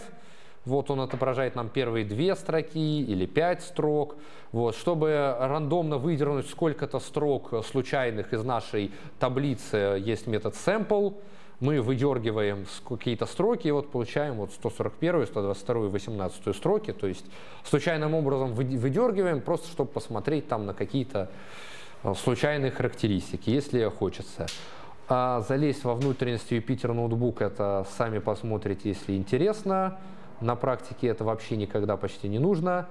А, да, если вы заметили, то э, при отображении вот э, таким образом у вас отображается там 5 первых и 5 последних строк. Если вам зачем-то может понадобиться отобразить сразу все строки, то это можно сделать вот таким вот кодом. Да, мы здесь опять же залезаем в поле значит, э, класс, объекта класса и меняем его напрямую через присваивание. Вот, тоже не очень хорошо для плюсов, но для, и для C, нет, для плюсов. Да, для C это там другая история. Для плюсов не очень хорошо, но э, для питона нормально. Вот. Если вы зададите, э, допустим, 999 и выведете эту таблицу, то вам выведет просто целиком всю простыню строк, которые тут есть от нулевой до 200. Вот. Делать мы этого, конечно же, прямо сейчас не будем, вот, потому что я хочу сохранить возможность навигации по этому ноутбуку. Да, также вы, вам, возможно, потребуется узнать, э, сколько у вас колонок э, и какие у них названия есть. Это делается вызыванием поля columns. Значит, он вам выведет просто список, какие у нас колонки есть и какие у них названия. Вот, в принципе, он хорош в связке с методом dtypes. То есть, если вы, вы вызовете поле метода, поле dtypes, посмотрите на содержание поля dtypes, он выведет вам колонки и тип данных, которые внутри этих колонок содержатся. То есть э, это вам будет полезно при э, арифметических операциях с э, там, разными колонками. То есть вам надо будет посмотреть на тип данных, если они там инты или флоты, то одни методы работы, если object, то, скорее всего, объектами обозначаются в пандасе строки, то есть я, наверное, на своей памяти, да, единственный случай, который я встречал, это вот э, когда э, писался тип object в, э, ну, как тип данных той или иной колонки, вот, это когда в ней содержалась строка, то есть посмотрим, какая-то колонка осенний курс по выбору, приоритет 1, смотрим, ну да, это, скорее всего, строка и есть. Вот, значит, ну и при нем вы можете ну, огрести некоторых проблем с этим. Например, если у вас там вы хотите посчитать, допустим, сред... вот у нас есть колонка рейтинг, вот, вы хотите посчитать средний рейтинг там, всех студентов этой программы, рейтинг, что у нас, вот, вызовите поле min, метод min, min для подсчета среднего. Э, подробнее вы э, изучите все эти методы на практике и на практикуме. Вот они примерно одинаковые. Он вам свалится с ошибкой, потому что не могу конвертировать. Типа я, я и вообще не, не понимаю, как считать средний от строк. И я попытался их конвертировать в данные, не могу тоже конвертировать, потому что это строки. И вообще непонятно, что с ними делать. Вот. Почему это случилось? Потому что, опять же, у нас здесь вроде цифры в колонке, но э, и вообще по смыслу должны, это должно быть цифрами, но, ну, числами. Вот. Да, да, да. Но э, по факту это строки, и поэтому сводилась ошибка. Значит, как это исправить? значит, зависит от вашего опыта а, работы с пандасом. А, по-моему, можно вызвать напрямую dtype от этой колонки. Получится, да, dtype object. Вот.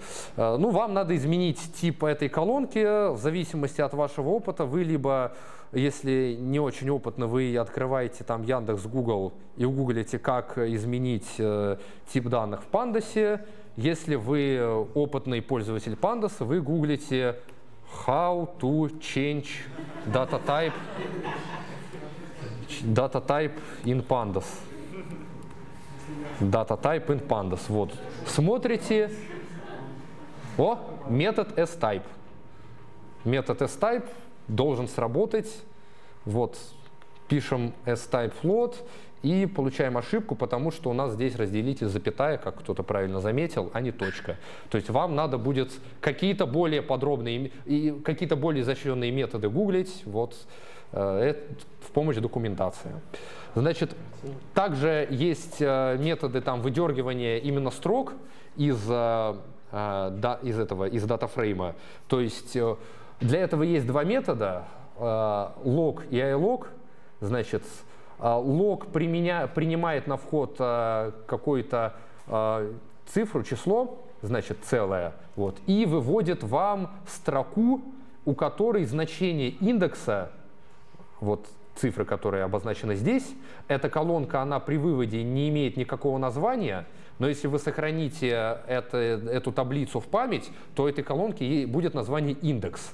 И вот метод log выдергивает вам строку, с индексом, а, который вы укажете а, вот в квадратных скобках. Вот с индексом 2 а, вот вы получили строку, это тоже дата серия и дата series, и вот здесь вы смотрите каждый признак и его значение. Вот.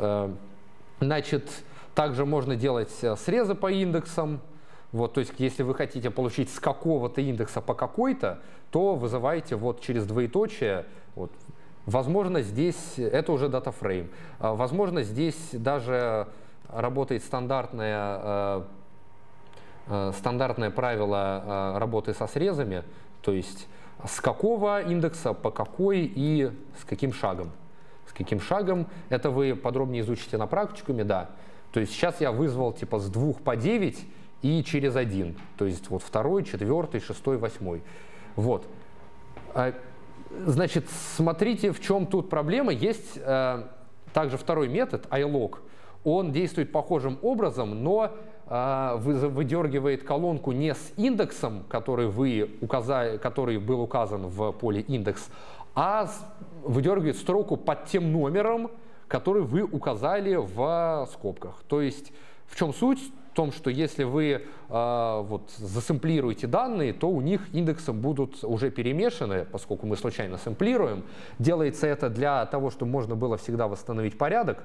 Вот. И если вы вот от этой темы попытаетесь выдернуть, допустим, э, ну вот у нас subset это какой-то датафрейм, и вроде как отдельный датафрейм, вот, и если вы попытаетесь выдернуть отсюда вторую строку, то есть думая, что он выдаст вам вот, вот, вот это вот дело, то он свалится с ошибкой, потому что здесь нету строки с индексом 2, у которой поле индекса будет равно 2. То есть, чтобы выдернуть именно строку, которая под номером 2 идет, э, ну, в программистском понимании сути номера 2, вот, то вам надо вызвать метод iLog, вот, и, собственно говоря, он вам выдернет вот нужную строку, которая в данной таблице э, под, ну, вторая, вот, если номеровать с нуля, вот, ну и имеет индекс 77, вот как-то так. И в принципе, если а, по ним же можно делать различные срезы, то есть здесь, допустим, нас 170, 170 а, можем получить, значит, здесь э, немного, ладно, э, с питоном много кто работал раньше? Работали? Да? Ну, со срезами знакомы? Отлично. Вот. А, тут просто есть э, не совсем очевидный момент, что а, срезы в методе log и в методе ilog немного по-разному работают. То есть а, метод ilog, он делает вам срез по массиву по правилам вот э, срезов в питоне. То есть он э, выдает вам строки от индекса, который вы указали, до конечного индекса, не включая последний индекс. То есть если вы делаете срез от 2 до 4, то он вам делает второй, а третий, да, а четвертый не дает. Давайте это рассмотрим на примере сабсета. Вот, то есть, э, но, э, значит, это только для iLock. Лог, он э, срез делает включительно, да. То есть лог, он, значит, какие тут у нас строки есть? Если вы делаете лог, вот где он тут, от 170 до 152, а, это, это, это, от 170 до 152 элемента, то он вам выдаст вот просто 4 элемента, включительно от 170 индекса до 152. То есть он внутри себя как-то соотносит, значит, индексы с реальными индексами внутри таблицы, вот, индексируется по ним, и э, делает это включительно, значит, с последним элементом. И у вас выдастся вот 4 строки. Вот, то есть метод log, следует помнить всегда, что метод log работает именно по полю индекс, вот, и не всегда, э, то есть, а вы обычно будете хотеть э, выдергивать строки именно по их реальному индексу, э, вот, в программистском понимании этого слова, поэтому вам, скорее всего, часто будет нужен метод ilog.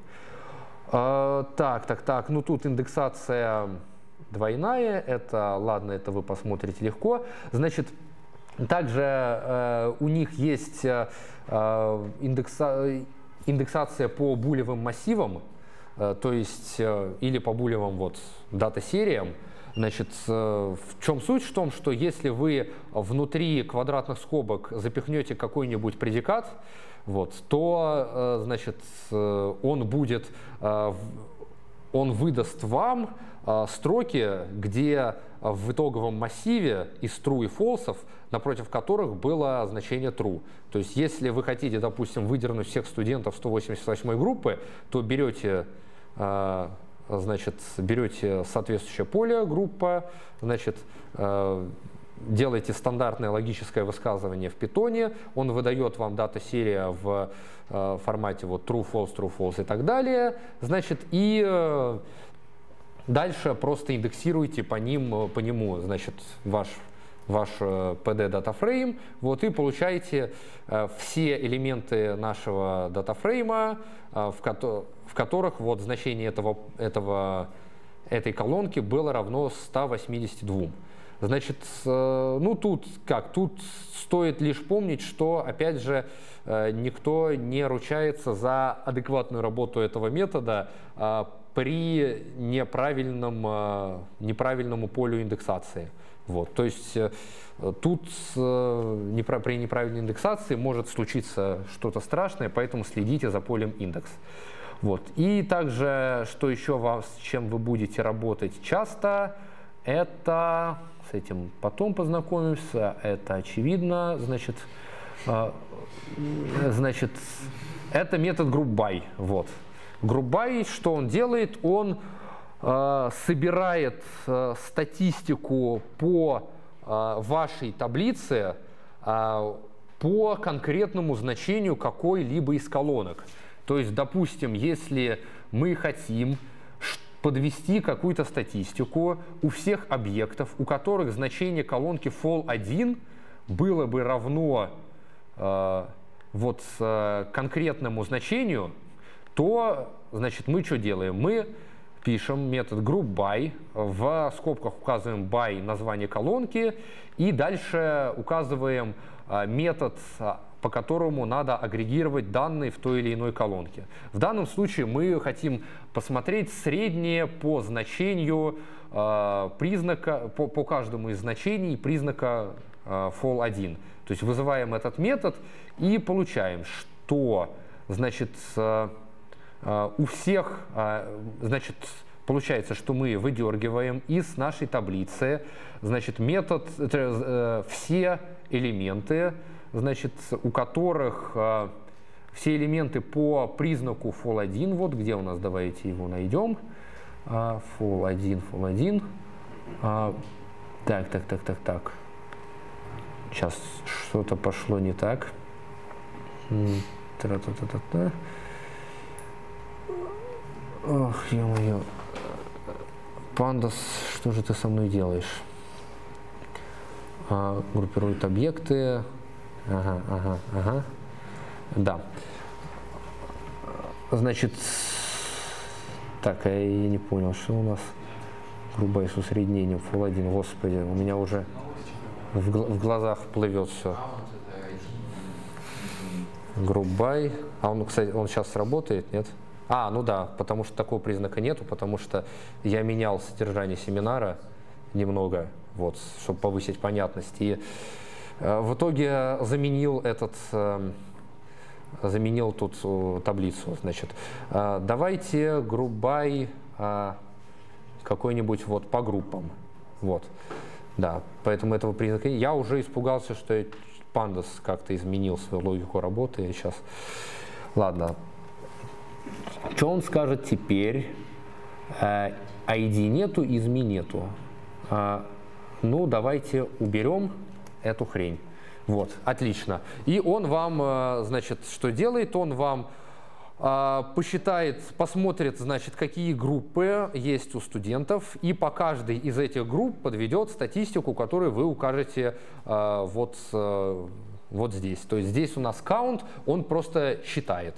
То есть он считает каждую строку, независимо от ее содержания, и получается, что мы просто вывели а сколько у нас студентов есть в каждой из групп, вот, 181, второй, вот сколько есть. Также есть различные э, методы, там типа мин, когда мы хотим э, делать, мы хотим узнать среднее по каждому из признаков. А, и что он сказал? Наверное, да.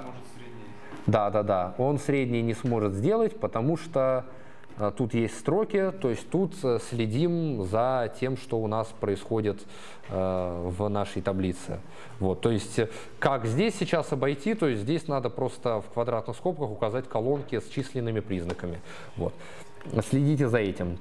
By, ну, усреднение понятно, значит, а, да, и теперь смотрите, сейчас я перечислил вам основные методы, Э, которые вы будете преимущественно использовать в домашке, и, скорее всего, ну, я не припомню, чтобы там вам потребовалось какие-то новые методы другие использовать. Разве что какой-нибудь метод apply, которым я быстренько вам напомню.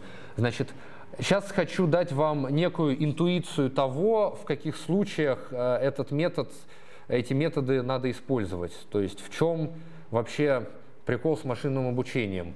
Вы э, в рамках данного курса будете изучать различные методы машинного обучения, там, значит, линейную регрессию, там, КНН и прочее, вот. И ваши домашние задания будут заключаться в том, что вам будет даст, даваться какая-то обучающая выборка, вы будете там э, смотреть, что предсказывает тот или иной метод машинного обучения, и дальше настраивать тот или иной метод машинного обучения на обучающую выборку. В реальной жизни все происходит немного не так. В реальной жизни у вас э, э, будет, вы будете отталкиваться не от метода машинного обучения, а от задачи, которая перед вами стоит. Допустим, вам сказали э, задача написания алгоритма стабилизации для видеокамеры, вот, для телефона, чтобы сделать так, чтобы вот вы снимали видео, телефон трясся, руки тряслись, а изображение не тряслось. Вот. Что вам для этого нужно сделать? Вам для этого нужно, наверное, предсказать, ну вот, логично предсказать поведение пользователя э, вот, с, с данным телефоном. То есть, что он с ним делает в данный момент. Он стоит и пытается снять какую-то сцену вот, и пытается удержать просто телефон ровно. Он бежит за кем-то и преследует кого-то и снимает его на телефон. Он снимает панораму, он просто идет. В зависимости от его поведения будет определяться список фильтров, которые вы можете накладывать на, э, ну, то есть на изображение, чтобы его стабилизировать. Вот. Возможно, там для каких-то методов вам понадобится, чтобы телефон, чтобы изображение быстро реагировало на движение пользователя, а в каком-то случае вам потребуется, чтобы изображение было как можно более гладким и плавным. Вот. И что для этого, значит, вы получили задачу и смотрите, что для этого у вас есть. Ну, наверное, есть данные с IMU телефона внутреннего, то есть данные с гироскопа, то есть его угол в угла Хейлера в пространстве, его угловая скорость ускорения, там данные с акселерометра, его Возможно, вы сможете измерить как-то линейную скорость телефона. Вот. И из этого всего вы делаете простыню признаков. И дальше начинается увлекательное занятие «Сделай признаки такими, чтобы с ними можно было работать методами машинного обучения». То есть, допустим, у признаков может быть разная частота. То есть с IMU данные могут поступать с переменной частотой, там когда-то 100 Гц, когда-то 200 Гц, когда-то 500 Гц. Вот, и от этого будет зависеть предсказание значит, и методы работы с ними. То есть вам надо как-то нормализовать герцовку. Дальше у вас могут быть проблемы в том, что иногда э, тот или иной датчик пролагивает, и вы не получаете данные с него. И тогда, если вы настроите метод машинного обучения на эти данные, то когда вы их потеряете, то ваш метод просто упадет и телефон выключится. Вот. Это тоже надо отфильтровать. То есть и, в, и 90% времени, которое вы будете работать вроде как с методами машинного обучения, вы будете работать с обучающей выборки, выборкой, настраивая ее таким образом, чтобы методы машинного обучения с ней работали нормально. Вот. И после этого вы берете какой-нибудь, импортируете там градиентный бустинг, запускаете его, о, все хорошо работает. Вот. То есть э, имейте это в виду и помните, что всегда надо открывать данные и смотреть, как с ними работать и как они вообще э, выглядят. Значит, ну, основные моменты, на которые стоит обращать внимание. Опять же, пропуски в данных, выбросы, повторы, какая-то нелогичная информация, это самые широкие области и прочее. Значит, э, давайте рассмотрим это на примере данных э, о, статисти... о вызовах такси.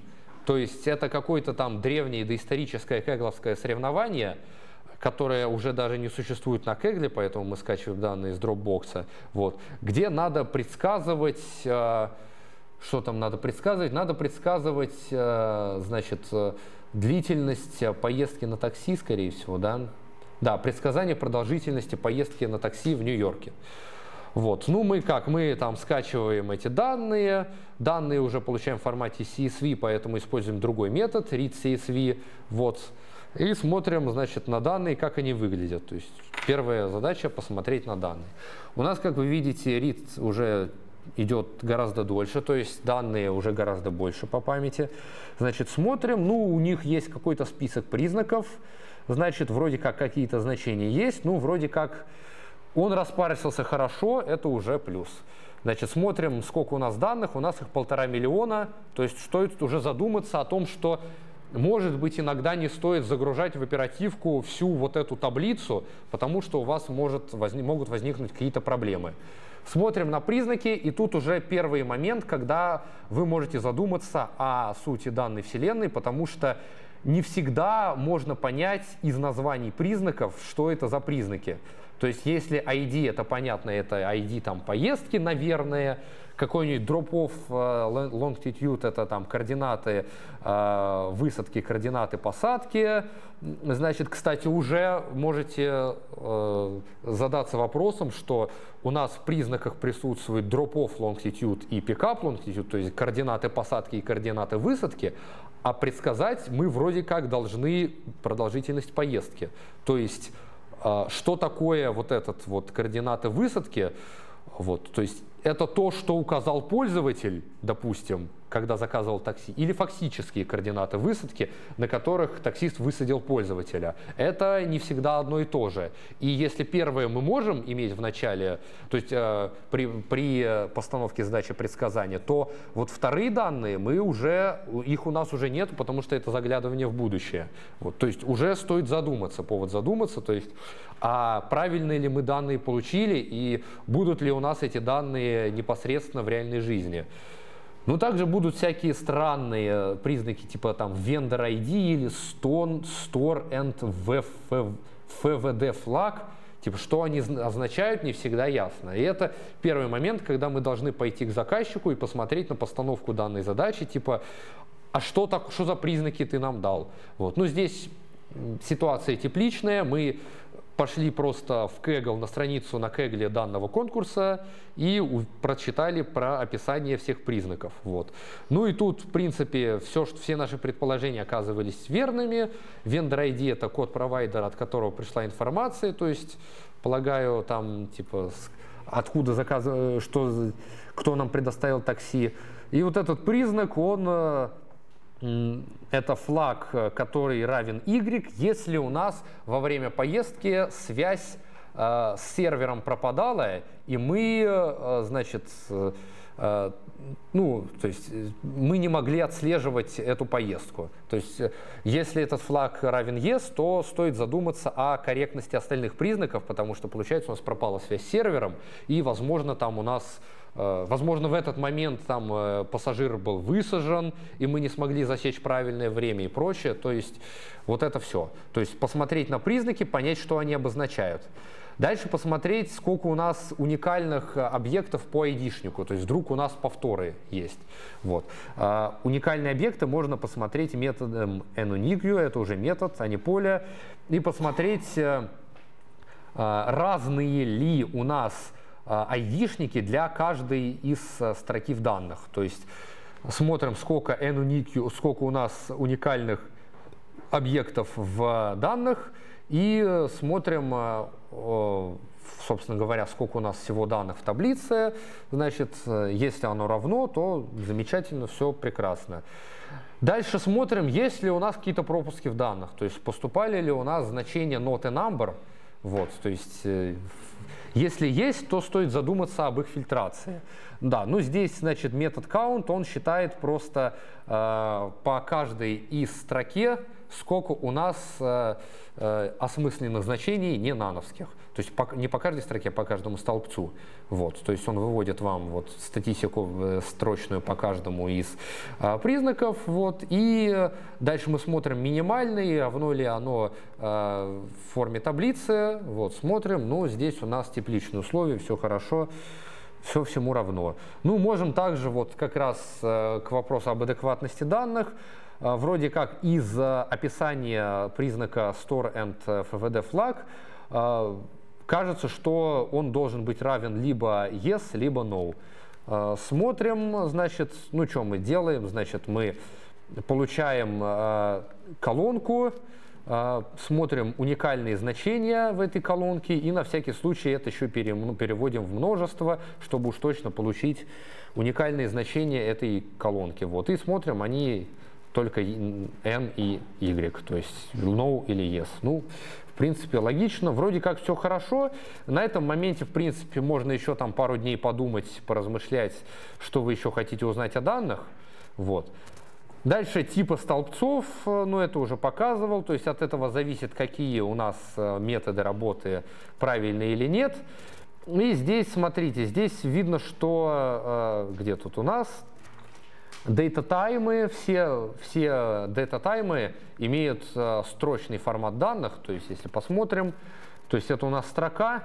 А Хочется перевести это в формат, удобный для работы с э, временем в питоне то есть, э, ну, который вот э, имеет формат, что, допустим, мы можем сравнить э, две даты, и они вот э, будут э, сравнены по их э, логическому, логическим правильным сравнению, то, что там типа 2016 год был раньше 2017 там, если это один и тот же год смотрим на месяц, на часы и на прочее, подводить по ним какие-то статистики.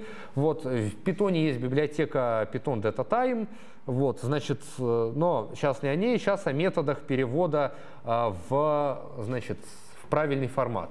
Значит, проще всего это сделать, э, просто запрограммировав это все дело в цикл. Значит, проходимся по всем строкам данной колонки и присваиваем просто этой, по этому полю значения в этой колонке, вот, преобразованные под data time. Вот. Но тут, значит, есть некоторый нюанс, что давайте попробуем эту хрень провернуть на 20 колонках. Вот.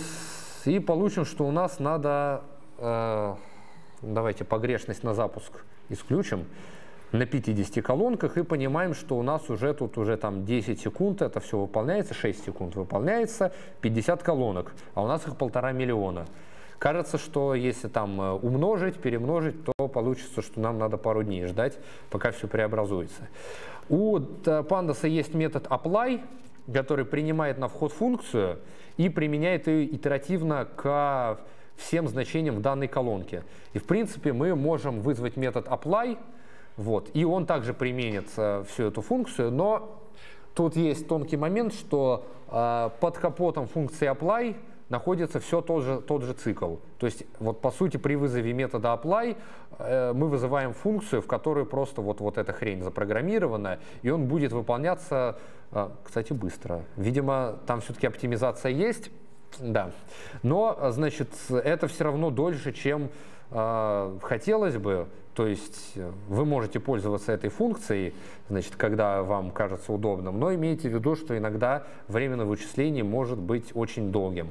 Вот. Ну и самое, э, самый быстрый вариант – это использовать векторизацию, векторизованные вычисления, о которых вам больше расскажут на практикуме. Это с использованием библиотеки NumPy. Я пока просто закину вам эту удочку в виде фразы «векторизованные вычисления». А, что-то пошло не так, что пошло не так. А, хрен его знает, что пошло не так, но а, а, что-то пошло не так. Возможно, я опять забыл изменить а, тип данных. Изме, заменить данные, значит, map, лямбда. Ха-ха-ха-ха. Ладно, ну, в общем, э, на практикуме вы тогда сейчас, чтобы не грузить вас душными, душным дебагингом, я просто отошлю, что на практикуме вам покажут, как э, работать с векторизацией вычислений. Вот. Здесь ошибку можете, можете найти в рамках э, упражнения на дом. Вот. Как у преподавателей принято говорить. Вот. Это вам домашнее задание. Значит, э, да, да, да, упражнение на дом. Значит, а, ну, сейчас у нас уже время э, подходит, значит... Э, как вы сделали бесконечный блокнот? Кого? Бесконечный блокнот, как это? Бесконечный блокнот? Он сам расширяется. Он сам расширяется, да. То есть вы в конец проматываете, вот, и там эти, по-моему, кнопками бо. Я, я отдохнул на это, на, на, на блокнот. Вот, значит, Какие еще основные моменты я хочу, хотел бы вам рассказать, которые э, касаются анализа данных? А стоит, ну, во-первых, кстати, есть метод describe э, у Pandas, который вам подводит э, некие статистики по э, числовым колонкам, то есть вот у нас целевая переменная trip duration, если мы вызовем э, метод describe, то он вам подведет некоторые статистики, то есть сколько у нас значений ненановских, среднее, std там, э, квантили, максимальное значение, минимальное значение, тоже бывает полезно. Вот. И стоит посмотреть в обучающей выборке, есть ли какие-то выбросы.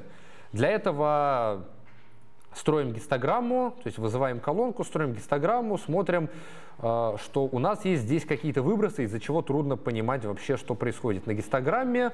Чтобы с этим разобраться, прологарифмируем э, наши значения, посмотрим, посмотрим в логарифмической скале. Видно, что в принципе у нас все значения здесь вот в рамках от 2 до 9, до 10, вот, и есть какой-то вот тяжелый хвост, какой-то выброс. Вот, ну, Смотрим, значит, э, все э, время поездок основная масса находится от 140-150 секунд до 8000, то есть до э, там пары часов, вот. Значит, и самая длинная поездка у нас длилась 979 часов. Ну, стоит задуматься, надо ли рассматривать эту длинную поездку. То есть, может, кто-то заказал такси от Москвы до Крыма, но э, как бы маловероятно. Поэтому эти данные, самый простой способ просто выбросить их нахрен, потому что они вам будут мешать обучать вашу модель. А, ну, опять же, здесь показаны методы, как это можно сделать. То есть там вот здесь мы смотрим, сколько у нас есть полей, где, а, где продолжительность поездки длилась больше 10 часов. Вот. Ну и их можно просто удалить вот, методом drop а, как он работает, в документацию лезьте, потому что вы все равно Сейчас это не запомните, а запомните только, когда на практике узнаете. Так, ну здесь мы пытаемся на карте изобразить эти координаты, тоже иногда прикольно бывает. Э, там есть библиотеки в питоне, значит, которые отображают на карте. Мы берем координаты высадки и видим, что вот у нас, э, наверное, вы можете... Вот, наверное, у нас э, вот большинство вот где-то вот э, в рамках э, вот этого вот острова, значит, полуострова, а, значит, также есть вот явные выбросы, что часто из аэропорта э, такси заказывают, вот, и, значит, э, что еще? А, вот из второго аэропорта видно, что такси заказывают. Возможно, тоже полезная информация для нашего метода обучения. Значит, э, Тут мы проверяем э, случайность э, айдишников. Но это тоже понятно, что перед тем, как делить выборку на train тест, надо ее перемешать, чтобы там потерялось, э, потерялись данные о дате, и э, разделить ее именно случайным образом. Вот. Ну и дальше, в принципе, я выложу ноутбук. Тут э, предлагается, приводится пример, как мы вычисляем новый признак – а именно там расстояние между точкой посадки и точкой высадки, и э, делаем предположение, что он э, имеет э, какую-то силу для нашей модели, вот, машинного обучения, вот, но, в принципе, тут как создать новый признак, можете посмотреть, вот, полезная информация, сейчас э, душить вас вызовами бесконечного кода не буду, вот, ну и мы добавляем признак, там, запускаем линейную регрессию и все прочее, то есть с этим э, проще разобраться при выполнении практического домашнего задания. Значит, э, помимо очевидных методов, зачем нам надо смотреть на данные в духе там, что на практике там бывают пропуски, бывают прочая хрень, а, иногда бывают более хитрые причины, зачем нам нужно смотреть на данные. Например, если вы участвуете в соревнованиях кегловских там, или других любых там, сейчас у нас разные российские сервисы есть там с соревнованиями тоже, э, с наградой там сколько-то там сотен тысяч рублей. В общем, смотрите, в чем суть. Эм, есть адекватный анализ данных, которые вы должны проворачивать каждый раз при работе с выборками и задачами машинного обучения. Это бывает полезно, чтобы э, писать правильные хорошие алгоритмы. Но если вы участвуете в соревнованиях, то там все средства хороши. В частности, там можно попытаться воспользоваться человеческим фактором и использовать какие-нибудь ошибки, которые допускали авторы при составлении данного соревнования. Допустим, э, бывали случаи, когда надо было предсказать э, какую-то, ну, задачи регрессии, там, предсказать какую-то цен, цену на чего-нибудь там, и данные были отсортированы по целевой метке. И типа люди, которые это замечали, они типа работали с этими данными как с временным рядом, вот, и получали гораздо более высокий скор, потому что э, данные были отсортированы как в трейне, так и в тесте. Также иногда разработчики допускают утечку данных, когда, допустим, э, э, например, задача стоит в классификации картинок, вот, и в признаках есть э, название картинки, и в этом названии содержится объект, который на этой картинке э, находится. Вот. Понятно, что в реальной жизни э, так, мы не сможем использовать эти данные, но на соревнованиях как бы э, нам никто это делать не запрещал, и мы можем как-нибудь распарсить название, вытернуть оттуда э, название объекта и использовать это в алгоритме классификации. То есть такие э, моменты были. Вот. Возможно, если кто-нибудь из вас там смотрел различные курсы Александра Геннадьевича Дьяконова, вот. Он любит рассказывать там различные истории, как там в 2008 году там на каком-нибудь соревновании там что-нибудь, кто-то написал там 30 строк кода и победил, или там 34 символа, вот. В общем, у него куча подобных баек. Вот. И действительно, соревнования создают тоже люди, и не всегда они достаточно случайно анонимизируют данные, вот, и из вида данных можно э, вычленить утечку таргетов данные и используете эту утечку для того, чтобы выбить там скор 0.99 и всех победить и получить много денег. Вот. Э, опять же, смотрите, какая задача перед вами стоит. Если реальная жизнь, то, ну, как бы нельзя так делать, если соревнование так делать нужно. Кстати, вот тут на Дьяконова ссылка есть. По этой ссылке можно, можете, скорее всего, скорее всего, там эта ссылка на его страничку с подобными байками, где будут как раз рассказы про то, как в соревнованиях были утечки данных. Вот. Ну, на этом я предлагаю закончить э, вводную лекцию. Сегодня, скорее всего, я вам выдам э, домашку первую на Pandas. Она будет простая, там пару вечеров там это повызывать методы, вот. Поэтому сделайте ее как можно скорее, не тратьте свое время, не, от, не откладывайте на последний момент. Э, дедлайны у вас еще успеют погореть в этом семестре, вот. Э, я не знаю, практикум э, будет, насколько я понимаю, у вас в этой же аудитории, вот. В 505 а, да, ну просто я списался вот с преподавателем, который будет у вас вести практикум, и э, мы вроде договорились, что он начнет его вести вот в этой аудитории, поскольку я закончу пораньше. Вот, но я не знаю, он пришел, не пришел. Вот, я просто его в лицо не знаю, поэтому, может быть, он где-то среди нас уже. Нет,